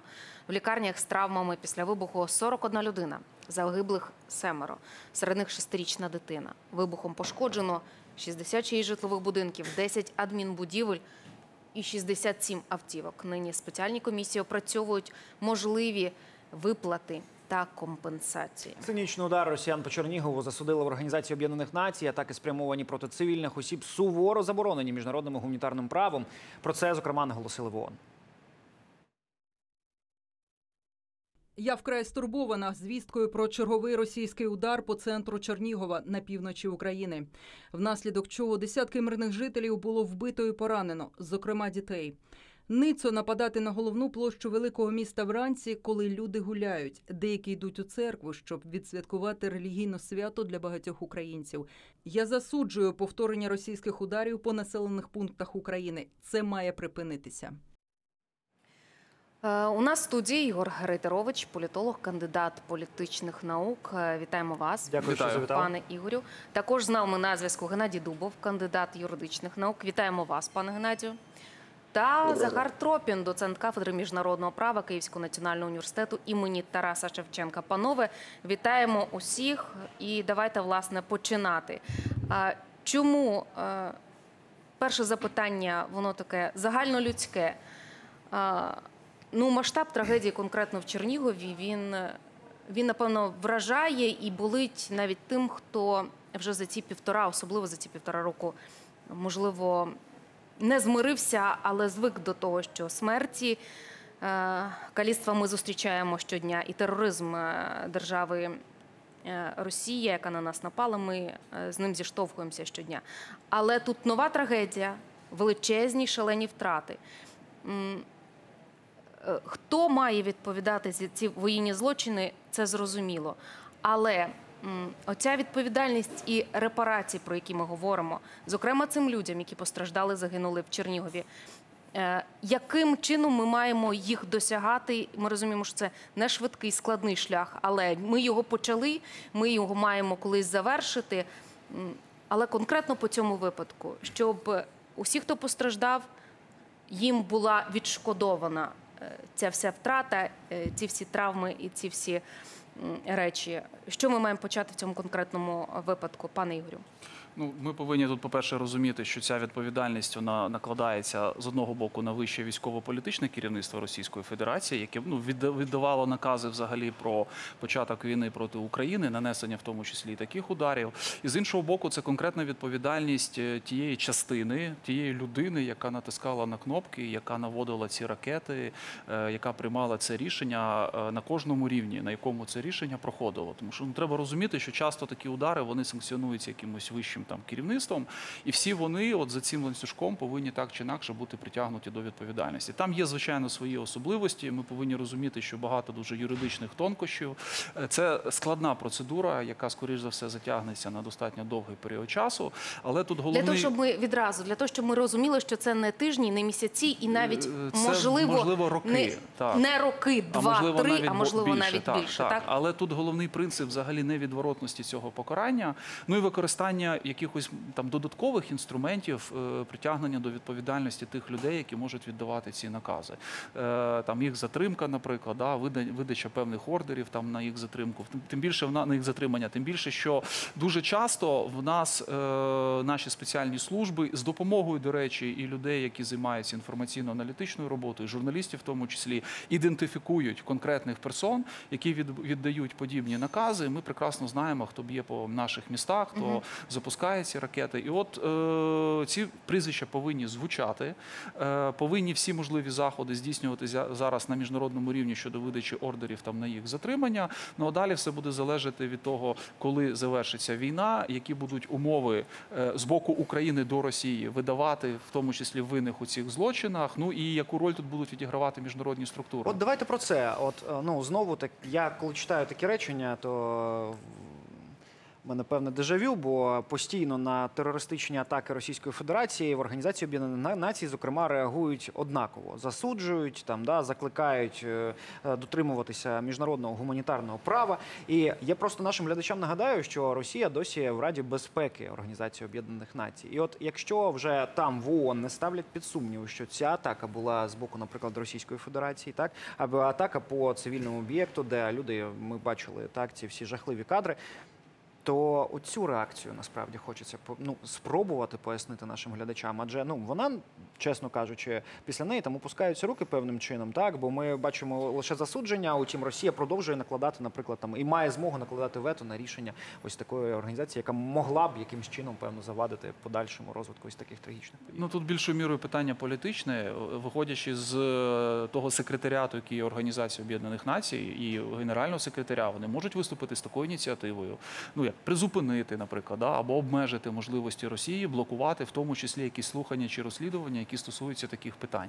Доки ми не побачимо цього прецеденту, це будуть з одного боку дуже важливі, зрозумілі, правильні заяви, але не більше ніж заяви. Нам ну нам від них, е, як то кажуть, знаєте, особливо там навіть е, ну тут про якусь приємність мова не йде. Ми хочемо результату, хочемо якихось дій. На жаль, ми поки що цих дій не бачимо, тому треба в тому числі шукати інші варіанти через різні е, інші міжнародні інституції, які нам допоможуть цих е, винних притягати до відповідальності.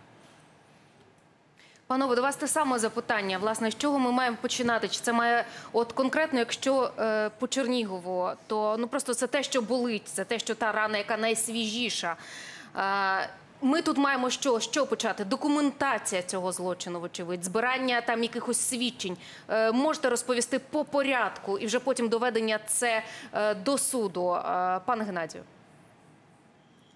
Е, Ну, процес складний. Тут насправді можливо більш коректно говорити не про те, що ми маємо починати, а те, що ми маємо продовжувати. Продовжувати, все вірно. Насправді, е, насправді, да, це далеко не перший випадок. Ми розуміємо вчинення е, злочинів на території України під час, зокрема, повно- повномасштабного вторгнення, але ж не тільки. І групи з фіксації відповідних слідів е, злочинів, власне, доказів, е, інтерв'ювання власне потенційних свідків, ну і так далі. Це все працює вже досить давно. І навіть е, комітет по пр- по правам людини, БІПЧ, так званий бюро, да, Організація Об'єднаних Націй, вони також настворювали комісії.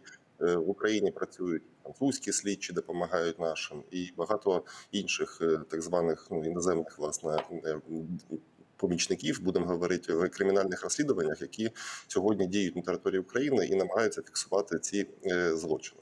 Власне, якщо ми говоримо про міжнародне право, то воно працює ну, деякі, з деякими особливостями до того, що ми звикли власне в межах національного судочинства. Там і процедури, і власне підстави вони відрізняються від того, що відбувається в межах, е, припустимо, розслідування кримінальних проваджень щодо злочинів, е, вчинених на нашій території, до чого ми звикли як до діяльності наших правоохоронних органів. Сьогодні ми е, маємо відповісти на ключове питання: а хто в підсумку буде розглядати відповідні кримінальні справи відносно, в тому числі військово-політичного керівництва Російської Федерації, і е, варіантів насправді небагато. Ми маємо міжнародний кримінальний суд сьогодні. Ми маємо там провадження щодо депортації дітей. Проблема міжнародного кримінального суду полягає передусім в тому, що він починає діяти е, ефективно лише тоді, коли в нього прямо фізично на лаві підсудних виявляються підсудні. Е, Це пан Путін і омбудсман з прав дитини Російської Федерації на сьогоднішній день. Е, Далі, от поки цього не відбулось, по суті, мова йде про таке до певної міри заморожене провадження, хоча певні зб- збір інформації відбувається. Ну тут Далі я ми, перепрошую. е, Давайте просто пояснимо нашим глядачам, що ордер на арешт від міжнародного кримінального суду був виданий після того, як Путін і та сама е, російська омбудсменка вони просто визнали те, що вони дійсно вивозили там цих дітей з території України, і саме на підставі цього, е, наприклад, там е, був виписаний цей ордер з обстрілами, наприклад, особливо цивільних об'єктів. Тут значно складніше, адже Росія їх заперечує. Я правильно ж розумію? Ну, по суті, так. Ну плюс Росія не ратифікувала, як і Україна, до речі, відповідний документ, який називається Римський статут. Ну є купа проблем і нюансів в цьому сенсі. Ну ми не встигнемо просто їх всі висвітлити. Але головним в цьому плані є, є що? Що е, також починаючи по суті з лютого 2022 року, Україна б'ється за створення е, певної ефективної міжнародної інституції, яка б в підсумку мала б впроваджені власне всі ці події. Е, Мова йде про те, що е, варіантів було декілька. Перший це власне під егідою Організації Об'єднаних Націй, що має певні складнощі з точки зору також наявності власне Російської Федерації в Раді безпеки Організації Об'єднаних Націй. З цим зробити нічого не можна, по суті, не перезавантаживши сам ООН. От я з паном Ігорем сильно погоджуюсь в тому плані, що призупинити членство там листом, не знаю, там е, відповідно е, генерального секретаря ООН, це є неможливим, тому що принцип одним із основних принципів побудови Організації Об'єднаних Націй є консенсус п'яти постійних членів Ради безпеки з певних питань, в тому числі от такого плану. Тому перепригнути його, не реформувавши ООН, е, на мою думку, сьогодні в принципі неможливо. Другий момент це створення певного трибуналу на підставі міждержавної угоди, власне, з залученням найбільш широкого кола держав наших союзників, і такі держави, які погодилися підписати подібну угоду, е, вони список їх формується. Він налічує десятки. Але е, знову останні новини, які ми чули по суті ще аж навесні, е, що будемо вийти скоріше не про трибунал під егідою всіх держав, а певний національний український суд, власне, з міжнародним елементом, з міжнародною підтримкою. Наша влада е, не сильно якби раділа такій можливості, але от із останніх повідомлень від наших партнерів, зокрема, е, мова йшла про те, що ми зупиняємося саме на такій ситуації. Тобто, умовно, це буде український суд, який буде е, мати певну широку підтримку, в тому числі іноземних держав, в тому числі там Сполучених Штатів і інших потужних держав, членів Північно-Атлантичного альянсу. І ми за по суті нашим законодавством будемо засуджувати військових злочинців з потім певною імовірністю імплементувати власне це в реальне життя. Але знову все впирається по суті все одно у військове питання. Тому тому що, е, як правило, власне злочинці е, опиняються на лаві підсудних у випадку, якщо е, армії під їх керівництвом зазнали військової поразки, і правосуддя має фізичний доступ до подібного роду проваджень і власне може взаємодіяти з підсудними вже от в сенсі проведення правосуддя, здійснення правосуддя, власне, з наявності власне людей на лаві підсудних. Ще одне питання, яке одразу виникає, це, звісно, ну, ми говорили про викрадення дітей. Тут є підтверджений факт, адже самі, е, скажімо так, підозрювані, так вони е, зізналися в цьому. І от, е, пане Захаре, у так, так, в такий же спосіб можна виписати, наскільки ну просто я за логікою зараз, звичайно, там, наприклад, спостерігача. Так а за такою ж логікою, наприклад, можна звинуватити і членів Радбезу Російської Федерації, які, наприклад, ну, вголос підтвердили, підтримали агресію цю Росії проти України, яка призвела до великої кількості жертв серед цивільних. Тобто це не таємниця, вони це не приховують. Навіть е, пам'ятаєте, був відеозапис, де Путін та вимагав від Патрушева е, офіційно вголос підтвердити, що так, я підтримую там і незалежність так званих там е, окремих регіонів Донецької та Луганської областей і введення російських військ. У чому тоді проблема от такі ж ордери виписати хоча б на членів Ради безпеки Росії? Тому, що міжнародного кримінального суду немає юрисдикції щодо злочину агресії. Міжнародний кримінальний суд має юрисдикцію лише щодо е, воєнних злочинів, злочинів проти людяності і злочинів і злочину геноциду, вчинених на території України, незалежно від того, чи там підписала Росія Римський статут чи ні, тому що Україна на адхок основі визнала юрисдикцію міжнародного кримінального суду. І якраз ось питання створення трибуналу, ось цього про яку про який говорив мій колега, це якраз питання притягнення за злочин агресії. Тобто цей трибунал буде стосуватись лише злочину агресії. Він не буде стосуватись інших злочинів. Він він сконцентрує свою діяльність лише на злочині агресії. Е, і е, відповідно, е, якщо ж говорити про ось ордер, який був виданий, і що зараз відбувається в міжнародному кримінальному суді, і ось якщо в контексті також атаки на Чернігів, в міжнародному кримінальному суді розглядається ситуація в Україні, тобто там немає якихось, ем, скажімо так, окремих проваджень. Ви виокремлюються окремі справи, по яким здійснюються якісь конкретні процесуальні е, дії. А розслідується взагалі ситуація в Україні. Ось е, якщо говорити про ордер е, проти Путіна, проти Львова Білою, то це якраз була виокремлена окрема справа щодо е, депортації дітей. Е, І вона розглядається наразі як воєнний злочин саме, а не геноцид. Але може бути ще й перекваліфікована у е, геноцид. Е, Проблема ж, якщо ж говорити взагалі про відповідальність, вона полягає в тому, що основний орган, ось ви правильно говорили, колеги правильно говорили, що основний орган, який має миттєво реагувати на порушення Ради Рада безпеки ООН, він зараз не дієздатний через право вето Росії. Е, Тому не, е, Україна не може через міжнародні інституції домогтися миттєвої реакції, оскільки цей основний орган він просто зараз не може працювати. А тому, е, скажімо, робота України і міжнародної спільноти зосереджена на правосудді, на міжнародному правосудді, яка дійсно має доволі довготривалий період для того, щоб реально притягнути до відповідальності до відповідальності осіб. Міжнародний кримінальний суд працює в Україні. Вже відкритий офіс. Він активно співпрацює з нашою е, прокуратурою, е, з офісом прокурора. Е, І тут головне це те, що докази, ось це якраз да про те, що говорили колеги, що ось необхідно збирання доказів. Якраз що збирати докази необхідно відразу по двом стандартам. Український стандарт кримінальних справ і міжнародний, тобто міжнародного кримінального суду, вони дещо відрізняються. І саме задля цього ось цей е, офіс був відкритий для того, щоб скоординувати цю діяльність. І саме тому зараз здійснюється доволі тісна співпраця у міжнародного кримінального суду і України. І тут важливо ще одне додати. Е, Діяльність міжнародного кримінального суду вона комплементарна, тобто вона додаткова. Первинна це діяльність національної судової системи. Тобто, якщо ми говоримо про притягнення за воєнні злочини, то первинними тут будуть суди України, а також національні суди інших держав, які теж можуть порушити кримінальні справи і порушили кримінальні справи на основі принципу універсальної юрисдикції. А вже там, де, ем, скажімо так, е, великі злочини або великі інциденти, або ми говоримо про е, на військово-політичне керівництво, там вже може вступати в дію міжнародний кримінальний суд. Пане Захаре, скажіть, будь ласка, для того, щоб розтлумачити так само нашим глядачам і нам, е, в яких випадках треба, наприклад, ці злочини об'єднувати, а коли потрібно розглядати кожен окремо? Ну, от випадок з Е, Черніговом, наприклад, це потрібно, е, потрібно виводити в окрему справу чи об'єднувати, можливо, з іншими? Який шлях буде Ну, найбільш ефективним? Е, Ну я думаю, що по-перше, це вже справа порушена в Україні, тобто окрема справа щодо Так. атаки на це як, як окрема кримінальна справа. Щодо міжнародного кримінального суду, то тут е, я думаю, вона буде розглядатись в контексті е, інших е, злочинів Росії, як такі, як частина патерну воєнних злочинів в Росії, вчинених на території України. Хоча я не виключаю можливості, що він буде виділений як окремий епізод, якщо буде якась, ну можливо, ну скажімо так, домовленість між Україною та міжнародним кримінальним судом, що цей епізод буде розслідуватись саме міжнародним кримінальним судом. Хоча знову ж таки я наголошу, що первинна все ж таки е, юрисдикція України, тобто національна юрисдикція українських судів. Мгм.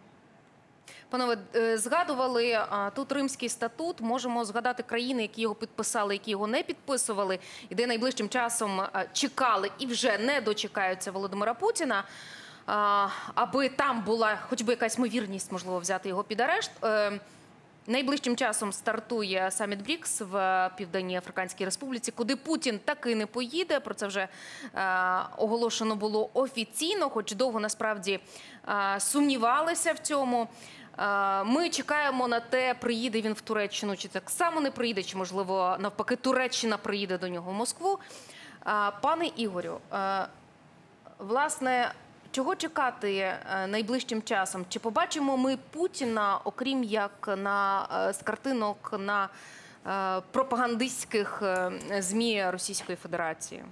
Я Чи думаю, буде він десь? дивіться, я думаю, що він е, не полетить е, в ніякі країни, навіть ті, які не ратифікували Римський статут. І для цього є цілий комплекс причин. По-перше, він е, боїться взагалі летіти в будь-яку країну, бо думає, що його літак там можуть в повітрі збити. Ну от людина живе в такому конспірологічному світі, де і врешті-решт він же розуміє там кількість злочинів, які Тобто він е, думаєте, якщо залізти до нього в голову, він навіть думає не про те, що його арештують там, а що він не що він не це долетить, це раз. По-друге, пам'ятаємо, що з початку війни Путін пересів на потяг. потяг. Тобто він практично там не літає. Потяг Якісь його так звані візити там навіть на тимчасово окуповані території, це візити, я так розумію, по землі. Хоча там є питання взагалі, де це знімалося, яким чином це Мгм. організовувалося. Другий дуже важливий момент. Він боїться якихось дійсно провокацій. Ну на його ну його думку, в країнах, куди він може прилетіти, може його там не заарештують, але, наприклад, можуть якось спробувати вручити цей ордер. Тут же ж проблема в тому, що ми не маємо відпрацьованого механізму, як взагалі це повинно відбуватися. Він то всього навсього четвертий глава держави, який отримав такий ордер, і три, які отримали до нього, в тому числі і очільники Судану і Лівії, вони ну не дожили до суду, тобто вони не предстали перед судочинством. Тому от його справа може в цьому контексті бути прецедентом, от дуже важливим прецедентом. І є третій момент. Я думаю, що він боїться ще вилітати з країни в силу внутрішніх певних причин, що він кудись полетить, і доки він буде відсутній, щось відбудеться всередині. А він так і казав, що я мовляв, коли він не поїхав до е, Південно-Африканської Республіки, він тоді і казав про те, що е, я потрібен у Москві, я не можу залишати робоче місце. Але він не каже прямо чому, тому що він вже не сильно довіряє та тим людям, які входять в його найближче оточення. Вони бачать постійні прорахунки, помилки, там нерозуміння реальної реальної ситуації, відірваність від реальності певною мірою. Тому в нього є побоювання, що знаєте, з ним буде типу як з Хрущовим. Той полетів відпочивати, потім повернувся, і тут йому сказали, що ти вже, значить, не генеральний секретар, і вся історія закінчилася. І от комплекс всіх цих причин призводить до того, що він дуже, знаєте, так розпливчасто відповідає на, на можливості кудись поїхати. Ну і останній момент, фінальний, не менш важливий. Багато країн, які неважливо ратифікували, не ратифікували, вони натякають, що краще давайте якось дистанційно поспілкуємося. Нам не потрібні оці проблеми, нам не потрібна якась занадта увага з боку світових змі, і нам не потрібні проблеми, в тому числі з країнами, які підтримують Україну, а це передові країни світу, і які кажуть, що ну слухайте, ви хочете з нами продовжувати нормальні відносини, але при цьому продовжувати нормальні відносини з Путіним, ну так не буде. То ви робіть певний вибір. І от ну, фінальною, от, скажімо, верхівкою цієї історії була історія, коли очільники Південно-Африканської Республіки йому прямо сказали, що фактично да, через ЗМІ, що ну, ми ну, хочемо, щоб ви якби не прилітали. Не треба цього робити. Це було Там, приниження. навіть була така цитата: ми е, будемо щасливі. Щасливі від того. Знаєте, це було пряме приниження, але Путін його, вибачте, проковтнув і взагалі нічого тут не міг зробити, тому що ну от людина реально перебуває в достатньо такому загнаному стані. І це, до речі, от в один момент, от ми іноді кажемо, що дуже повільно все відбувається, яка користь від цих ордерів, від відкритих справ. Ми бачимо, що навіть на такому рівні це працює. Це навіть з психологічної точки зору здійснює на нього дуже серйозний тиск і не дає можливості себе впевнено почувати, ве- вести якусь там зовнішню політику, ну і впливати на ситуацію взагалі в світі.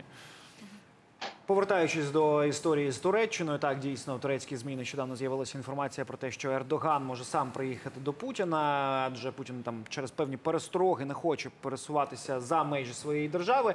А, насправді нагадаю нашим глядачам, попри те, що Туреччина не ратифікувала Римський статут, після того як які загравання, скажімо так, і певні торги з заходом нині веде Ердоган. Пам'ятаємо і приїзд Володимира Зеленського, і звільнення, зокрема, командирів Маріуполя, захисників Маріуполя. І наскільки взагалі тут виникає питання, в принципі, може дещо там неочікувано, неочікуване е, чекати в Туреччині на Путіна? Чи може країна, яка не ратифікувала Римський статут, в теорії якимсь чином бути залученою в процес, наприклад, або арешту, або вручення безпосередньо текстової, скажімо так, підозри е, російському диктатору? Пане Геннадію. Ну, Складне питання. Ну чисто в теорії в нас можливо все, тому що якщо ми говоримо про міжнародне право, то е, це така відносно лукава штука, якщо порівнювати з національним правом, як ми його звикли сприймати, воно є обов'язковим для країн тією мірою, якою власне. Ця країна визнає свою дію е, цих загальнообов'язкових норм. Е, Звичайно, це більшою мірою стосується, умовно кажучи, сильних держав, бо е, примусових механізмів реалізації їх е, звичайно мало. І так чи інакше, всі вони, майже всі вони за- зав'язані на Раду безпеки Організації Об'єднаних Націй, і про це ми обговорювали. Да, що сьогодні, от е, саме у зв'язку із тим, що ця інституція має е, таких членів, членів, як Російська Федерація і Китайська Народна Республіка, шансів, що будуть якісь ефективні рішення ухвалені, їх майже не існує. Тому е, питання по суті суто загальнополітичне. Якщо ми згадаємо там Південно-Африканську Республіку, там е, також був, певний епізод дискусії з приводу можливого реформування їхнього кримінального процесуального законодавства, щоб е, створити певні лазівки, створити певні національні механізми, щоб мати підставу формально не виконати ордер міжнародного кримінального суду. Ці дискусії ні до чого не призвели. Ми бачимо результат. Власне, Південно-Африканська Республіка залишилася на позиції, попросила дуже вічливо, так би мовити, да, е, Путіна не приїжджати на відповідний саміт. Але е, чи може власне Туреччина е, арештувати? Ну фізично розумієте, знову тут, тут питання не права, тут питання волі, тут питання певних геополітичних міркувань. Туреччина на сьогодні не демонструє якоїсь такого негативного і ворожого ставлення до Путіна і Росії, тому що власне економічно вона по суті е, підтримує її е, багато в чому, починаючи там від будівництва атомної електростанції, закінчуючи різноманітними. Оборудками чисто господарськими і е, Туреччина серед інших країн здійснює вторинний імпорт до Росії. Тому питання виникає: а навіщо Ердогану сьогодні власне арештовувати Путіна або якимось чином власне ну якось взаємодіяти з ним на користь, зокрема там міжнародного співтовариства цивілізованого і в інтересах України.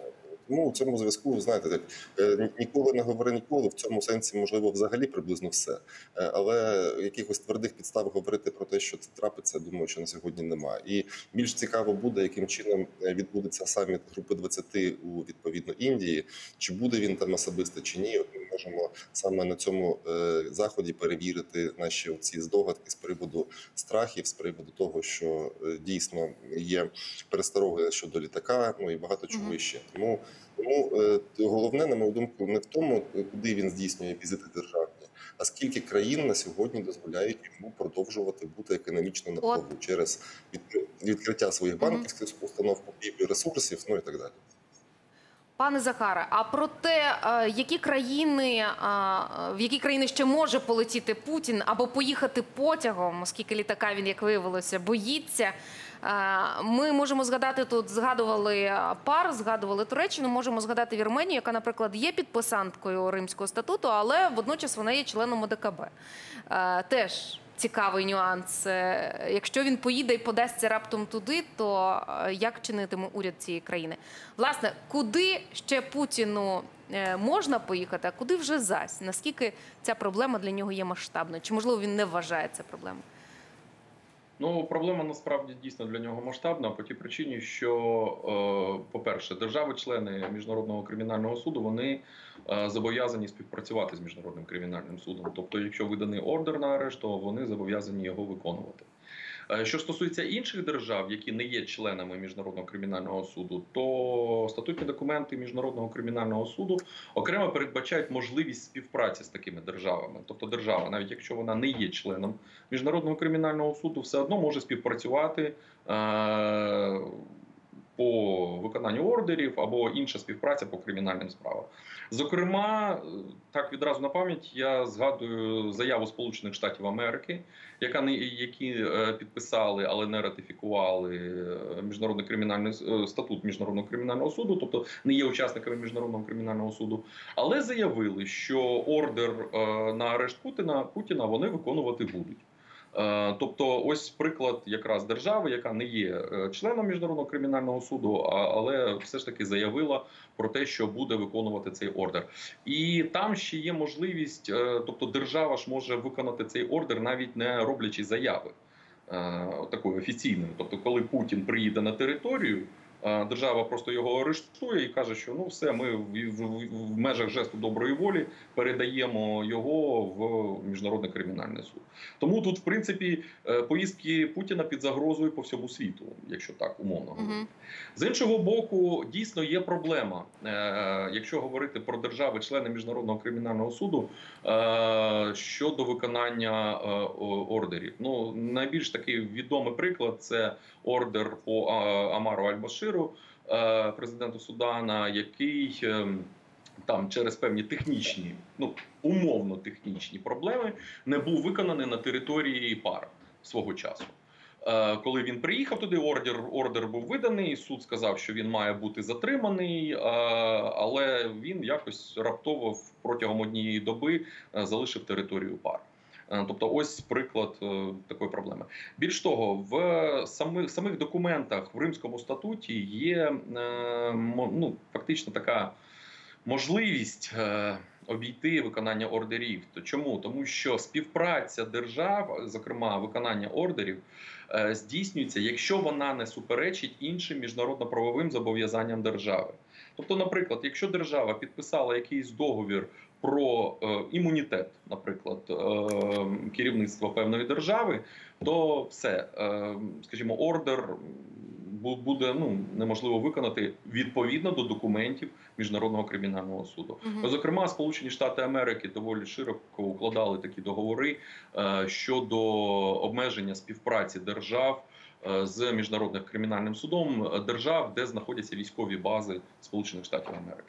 Словом, шпарини і до виконання, якщо навіть країна не є підписанткою МКС і на е, Римського статуту, і не послідується виконанням ордерів МКСу, і навіть тоді, коли держава є підписанткою, але водночас може відмовитися, ці всі шпаринки є. Дякуємо, Захар Тропінін, Тропін, доцент кафедри міжнародного права Київського національного університету імені Тараса Шевченка, був з нами. Дякуємо, що розтлумачили нам всі ці нюанси. Пане Ігорю, але бачимо, що навіть попри терористичні методи Російської Федерації, деякі країни все одно з обережністю, скажімо так, навіть висловлюють свої е, звинувачення в бік Росії, зберігаючи певний дипломатичний, там я знаю, якийсь певний етикет.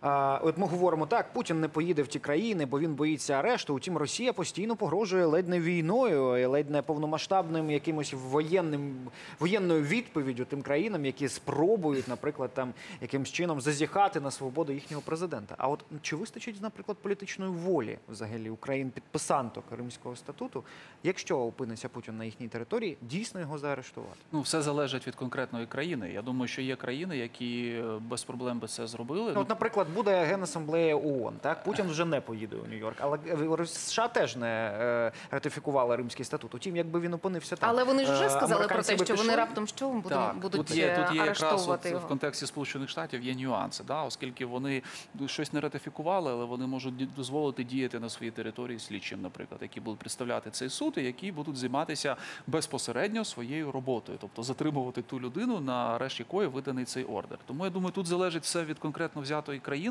Я переконаний, що є держави, які би не побоялися це зробити. На жаль, просто Путін ніколи в них не поїде. Мгм. А от їхні всі істерики, я пам'ятаю просто історію, е, коли там Нав- Нав- Навіжена Семенян, здається, що хтось кричала, що якщо ви нашого Путіна заарештуєте, ми нанесемо ядерний удар по цій країні. Ну тут же логіки від слова взагалі немає, тому що, по-перше, ваш тоді же Путін буде перебувати в цій країні, по якій ви нанесете ядерний удар. І другий момент, я думаю, що е, це би не призвело прям до якихось таких наслідків, оскільки би це настільки вдарило, дестабілізуючи по тій системі, яка побудована в Росії, щоб вони там були більше зацікавлені в тому, як ділити владу, оскільки зникла людина, яка все це об'єднувала, і думати, як жити далі. Тому, на жаль, просто що наші ці розмови вони більшу міру є гіпотетичними, в силу того, що Путін просто побоїться це зробити і кудись поїхати. Він колись там любив розказувати, що е, мало залишилося якихось там, знаєте, серйозних таких світових лідерів, йому нема з кимось там говорити і так далі. Але ж він насправді сам демонструє позицію дуже дрібного диктатора, який сидить в країні, всього боїться і боїться навіть виїхати за межі там. Москви чи того бункера, де він постійно перебуває. Тому в цьому контексті він е, не буде просто провокувати всю історію, буде сидіти в Росії. Ну а його там клеврети будуть розказувати, що от якби не дай Боже щось відбулося, от тоді би ми щось зробили. Тому в даному контексті, до речі, гарним варіантом є просто подальша видача цих ордерів не тільки щодо Путіна, але й щодо тих людей, яких він може замість себе кудись От, відправляти. власне, Того ж Лаврова, наприклад. Так, от власне, пану Геннадію, поставимо це запитання. Якщо не Путін, то хто? Е, арешт кого е, може насправді посприяти вирішенню ситуації, якщо посприяє? Бо е, я вже не знаю, можливо, ви підкажете, можливо, справді є якийсь рецепт юридичний, як дістати Путіна, посадити його на лаву підсудних. Але ми, розуміємо, чи це має бути просто або воєнна спецоперація на території Російської Федерації, або він таки має кудись висунути свого носа, що навряд чи найближчим часом вдасться. Тож. Перше, чи існує якийсь бодай яка, я- якась можливість юридична його дістати, посадити на лаву? І друге запитання: хто, якщо не Путін, хто ще? Можливість, на мою думку, відсутня е, в силу просто ну якби того, що це ядерна держава, такого ну якби уявити майже неможливо. Якщо ми говоримо про умовну спецоперацію, щоб посадити на лаву підсудних, я майже також це виключаю, просто з тих підстав, що у міжнародного кримінального суду в принципі відсутні будь-які силові підрозділи, так само як е, такі ж підрозділи відсутні у тієї ж організації Об'єднаних Націй.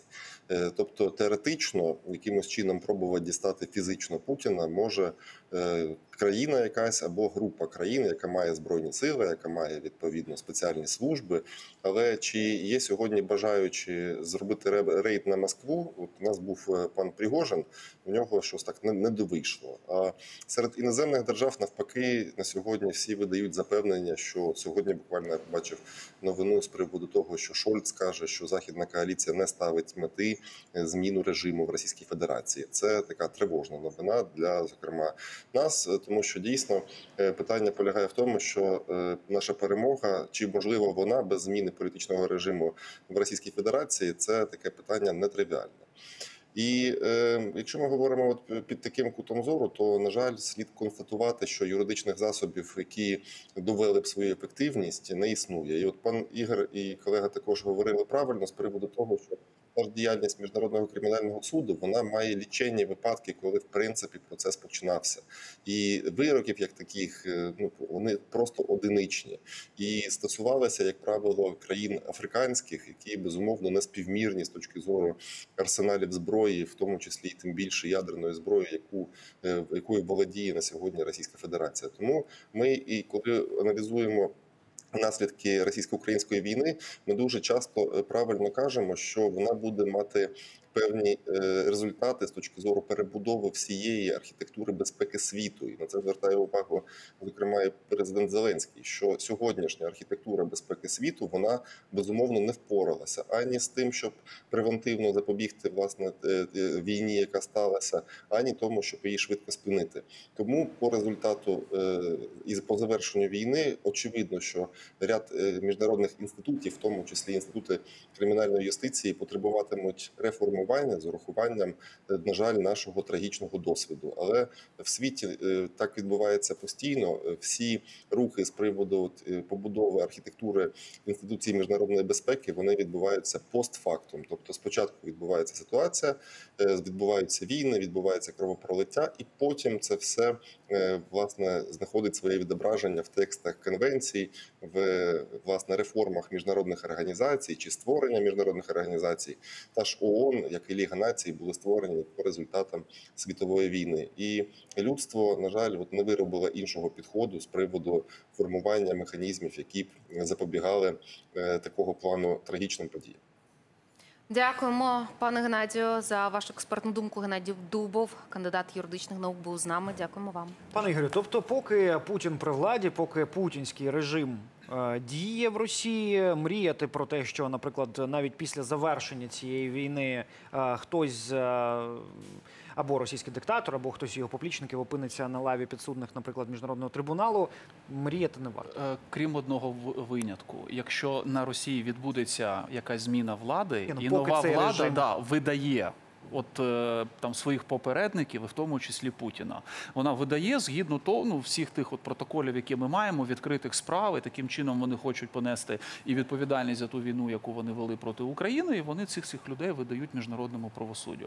Доки цей режим є, ну це можуть бути тільки персональні історії про те, що знаєте, якийсь чиновник, який буде перебувати під ці ну під цими розслідуваннями, кудись виїде, буде десь затриманий і притягнути до відповідальності. Ну і є ще відповідальність, яка не зовсім юридична, може бути якогось іншого характеру. Вони також повинні про це пам'ятати, оскільки є прецеденти в світовій історії, коли окремі країни за допомогою спеціальних служб ловили таких людей, ну, доставляли їх, судили. Ну щоб далеко не ходити, найбільш показова це історія з Адольфом Ейхманом, якого Мосад Ну, вони викрав. викрали його з Аргентини. З Це не ядерна держава. Ну, ми це розуміємо. Але е, тут же ж моменти.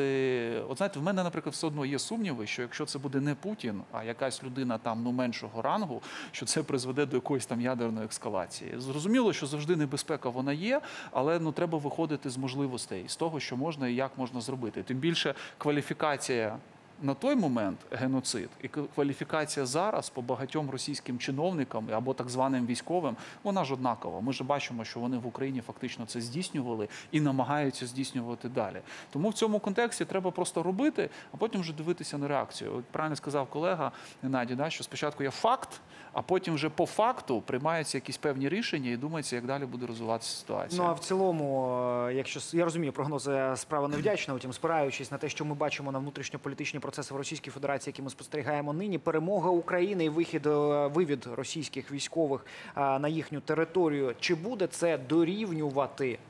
Е, Зміні е, режиму в Російській Федерації чи принесе путінський режим поразку в цій війні? Е, ну, за великим рахунком, так. Я думаю, що це розірве його просто зсередини, оскільки вони настільки зараз розкрутили оцю риторику, якусь там переможну, оцю шовіністичну, імперську і так далі. Що коли відбудеться повернення всіх наших земель, це буде однозначно, в них просто почнуться внутрішні дестабілізаційні процеси. Може до цього часу той же Путін особисто вже при владі не буде перебувати в силу звичайних там природних якихось причин, але от тоді буде найцікавіше. Буде ж формуватися щось нове, і не виключно, що ті, хто будуть дертися до цієї влади, вони готові будуть пожертвувати частиною е, попередників для того, щоб просто якось замиритися і з Україною, і з світом, бо вони розуміють, що невирішення питання з Україною, репарації, відшкодування, покарання, Видача не- воєнних видача злочинців. воєнних злочинців не дозволить їм нормально комунікувати з іншими цивілізованими країнами, які після дуже ва- важливою роботою і президента, і нашої дипломатії в цілому зараз стоять на такій позиції, що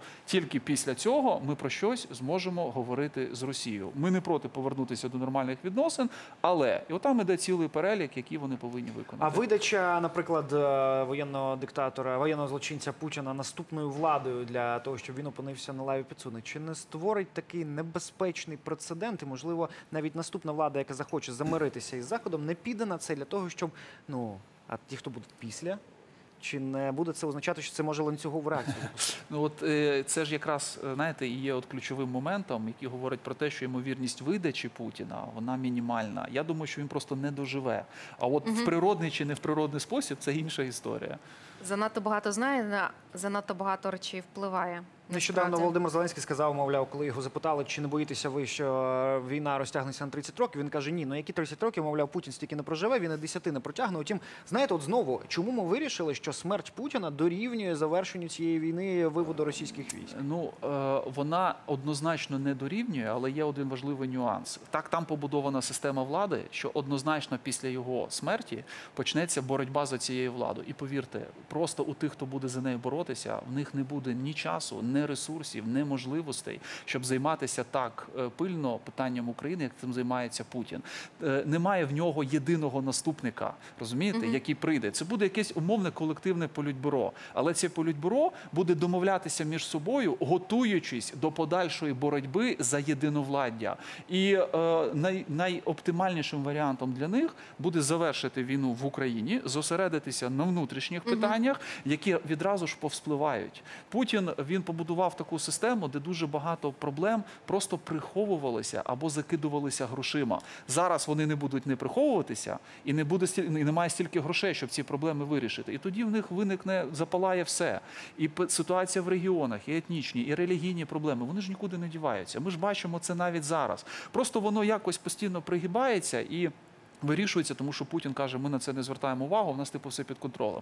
А не буде цього, вони відразу по- подістають все, що в них там заховано, згадають всі претензії один до одного, і е, в них запалає, запалає конкретно. Може, в форматі ледь не громадянської війни. Більш ймовірно, що в форматі такого внутрішнього елітного конфлікту, але це буде не тижні і навіть не місяці. Це розтягнеться на довгий період часу.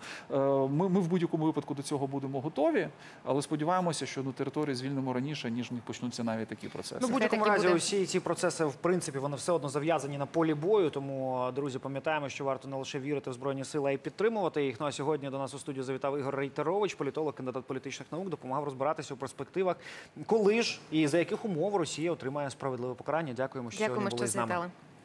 Рухаємося далі. Давайте поговоримо про те, е, за рахунок чого, за рахунок якої технічної підтримки ми можемо перемогти в цій війні швидше. Україна отримує американські винищувачі F-16. Це відбудеться після тренування та навчання наших пілотів та інженерів. Про це заявив президент України Володимир Зеленський. Глава держави назвав досягнуті домовленості ще одним кроком щодо посилення повітряного щита України. Під час візиту Зеленського до Нідерландів та Данії лідери цих країн офіційно оголосили про передачу винищувачів Україні. Вже відомо, що Данія планує передати нам 19 літаків, перші з яких надійдуть вже до нового року. А от прем'єр-міністр Нідерландів не став розголошувати чіткі строки, втім назвав загальну цифру. Це 42 винищувачі. Раніше стало відомо, що Сполучені Штати дозволили західним країнам передавати літаки Україні, коли пілоти та технічний персонал закінчать навчання. Зеленський же наголосив на тому, що процес навчання має проходити якнайшвидше. Розбиратися із е, перспективами отримування Україною винищувачів четвертого покоління будемо з Денисом Поповичем, е, військовим оглядачем. Вітаємо вас, пане Денисе. Вітаємо. Добрий день. Ну, по-перше, хотілося, щоб ви оцінили цю кількість. Так, 19 плюс 42. Наскільки для яких цілей, скажімо так, нам може вистачити ось такої кількості бортів? 19 плюс 42 дорівнює 61. Ну це проста математика. І е, якщо ми побачимо, що в принципі ескадрилья може складатися з 12 літаків, то легко підрахувати, що це 5 повноцінних ескадрилій плюс один літак.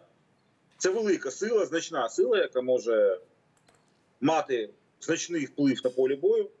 Якщо сконцентрувати цей удар, умовно кажучи, на якомусь одному напрямку, тим паче, що ці літаки F-16, які е, передаються нам з Данії та Нідерландів, вони свій час пройшли модернізацію за по рівню Middle Life Upgrade. Е, І це означає, що зараз вони співставні із модифікацією літаків 16 блок 50-52. Тобто це найбільш масовий літак третього покоління, який знаходиться на озброєнні багатьох країн, тому числі і Сполучених Штатів Америки, Туреччини, там ну багато, багато, багато країн мають його на озброєнні.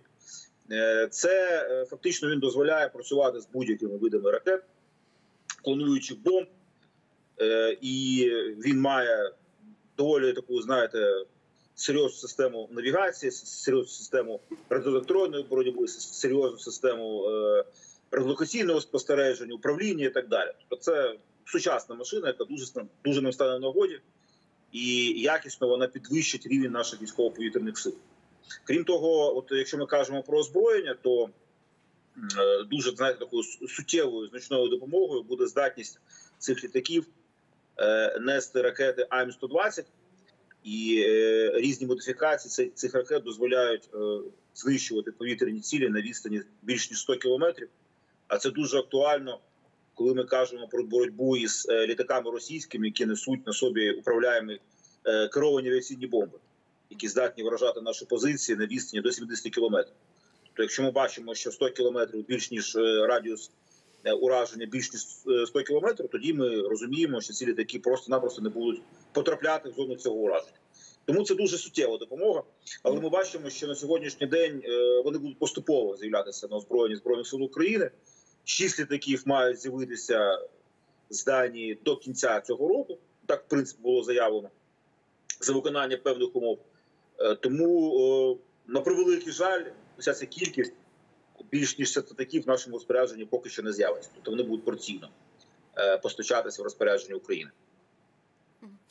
Пане Денисе, Олексій вже почав запитувати. Я продовжу. На яких ділянках фронту е, ці літаки будуть найбільш дієвими, найбільш ефективними? Що за рахунок е, е, них ми можемо досягти? Ми можемо докупувати Крим, ми можемо докупувати Донбас, ми можемо працювати ними над акваторією Чорного Азовського морів.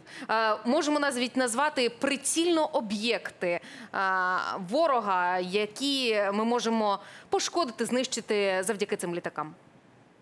Будь-що. Питання, от відповідаю на ваше питання, будь-що. Але Тобто там важливо, що чим культура. будуть бити ці літаки, правильно? Тобто, що на них повісити? Ну, безумовно, так, який буде обвіз. Тобто ми зараз не знаємо, які типи ракет та керованих авіаційних бомб там будуть надані.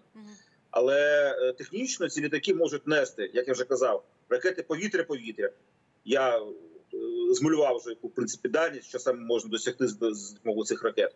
Вони можуть нести протикорабельні ракети гарпун. Це от відповідь на ваше питання, е, чи можна їх використовувати, зокрема, проти кораблів. Вони можуть нести керовані авіаційні бомби.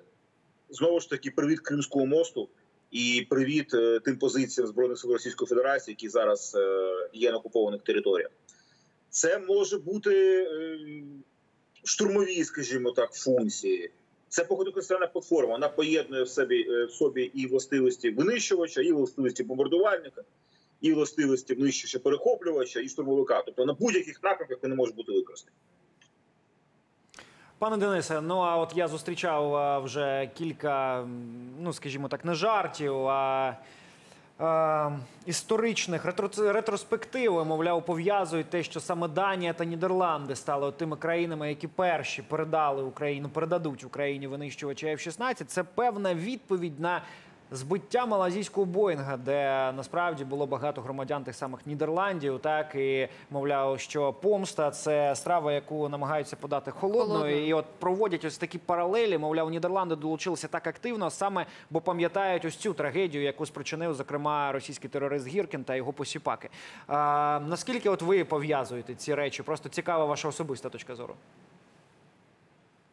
Ну, я чув про таку версію, що в тому числі через збиття Боїнга рейсу MH17 Нідерланди вдалися до такого кроку. Але тут не треба забувати ще одну річ: на сьогоднішній день в Нідерландах діє е, масштабна програма заміщення цих літаків F-16 на більш таку сучасну версію F-35. Це винищувач п'ятого покоління, який саме багатофункціональний, ну але він е, значно більш досконалий, ніж е, ті літаки, які зараз є в розпорядженні Нідерландів. Це не означає, що нам передуть мотор. Знову ж таки хочу повторити. Це літак, який знаходиться на озброєнні багатьох країн, тобто це сучасна машина. Ну але е, кожна техніка застаріває і вона може бути замінена. І на сьогоднішній день Нідерланди в процесі заміни літаків F-16 на F-35 Мгм. мають змогу нам поступово передавати цю техніку, оскільки ми в ній е, ми, ми, ми, в нас є потреба для цих літаків. Тобто, фактично, Нідерланди зараз е, переслідують не одну мету, а одразу дві. Перше, позбуваються того, що застаріло, але так потрібно нам, і підтримують Україну е, у цій боротьбі. А які ще країни зараз е, наслідуватимуть е, Ймовірно. Нідерланди? Ймовірно, кого ще ми побачимо в цьому списку? Ну, ми бачимо Данію передусім, тобто це вже зрозуміло, що. І очевидно, навіть Данія може статися таким чином, що Данія буде перша, хто передасть Мгм. літаки, попри те, що Нідерланди про це перше заявили. Оскільки ми знаємо, що зараз навчання е, наших пілотів відбувається саме на датських базах, на датських е, ресурсах і на датських, е, не, на датських навчальних платформах.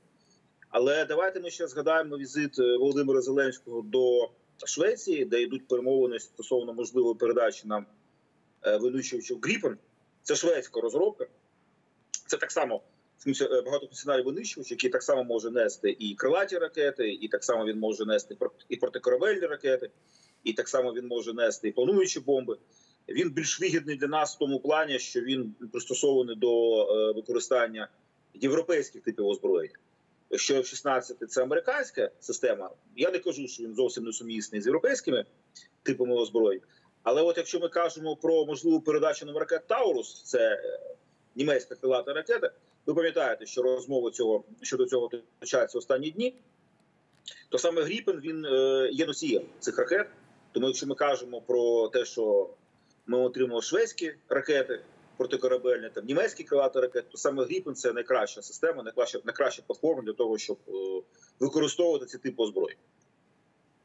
А от пане Денисе, щодо Тауруса, нещодавно мені дуже сподобалася цитата українського посла в Німеччині, який е, сказав, що мовляв забороняти Україні використовувати ракети для нанесення ударів по військових об'єктах на території Російської Федерації. Це так само, що, наприклад, заборонити футбольній команді бити пенальті або забігати на е, частину поля противника. Ми бачимо, що дійсно використовують там ті самі Storm Shadow, французькі аналоги по окупованій частині України. Утім, ми розуміємо, що для того, щоб мати певну багаторівневу систему протиповітряної оборони, зокрема, ми маємо маємо мати змогу бити по центрах, звідки ракети вилітають по нашій території. От чи погоджуєтеся ви з цією тезою українського посла, і чи бачите ви якісь перспективи для того, що, наприклад, наші партнери дозволять, наприклад, Україні використовувати їхнє озброєння виключно для нанесення ударів по військових об'єктах на території Росії? На превеликий жаль, я думаю, що наші партнери нам не дозволять е, їхньою збро- їхньою завдавати нам завдавати удари по територіях безпосередньо е, на території Російської Федерації. Це не включає в цьому Крим, Донбас, окуповані території України. Я маю на увазі ті території Російської Федерації, які є міжнародно визнаними, е, які знаходяться в законних кордонах Російської Федерації. Для того щоб нам вражати об'єкт на території Російської Федерації, нам потрібно розробляти власну систему озброєння. І це, я думаю, єдиний вихід для того, щоб могли завдавати удари по аеродромах, по центрах прийняття рішень, про тих об'єктах, які є Зрозуміло. за межами України. Зрозуміло. Ну, ми бачимо, як е, в принципі прогресує, хоча б в контексті дронів, український військово-промисловий комплекс. Будемо сподіватися на його подальший розвиток для того, щоб е, окупанти не почувалися в безпеці на військових об'єктах вже на території їхньої держави. Дякуємо, Денис Попович, військовий глядач, долучався до нашого ефіру. Дякуємо надзвичайно. А ці дві години з вами були Олексій Гуман, Катерина Деркач. Дякуємо вам надзвичайно за вашу довіру до нас.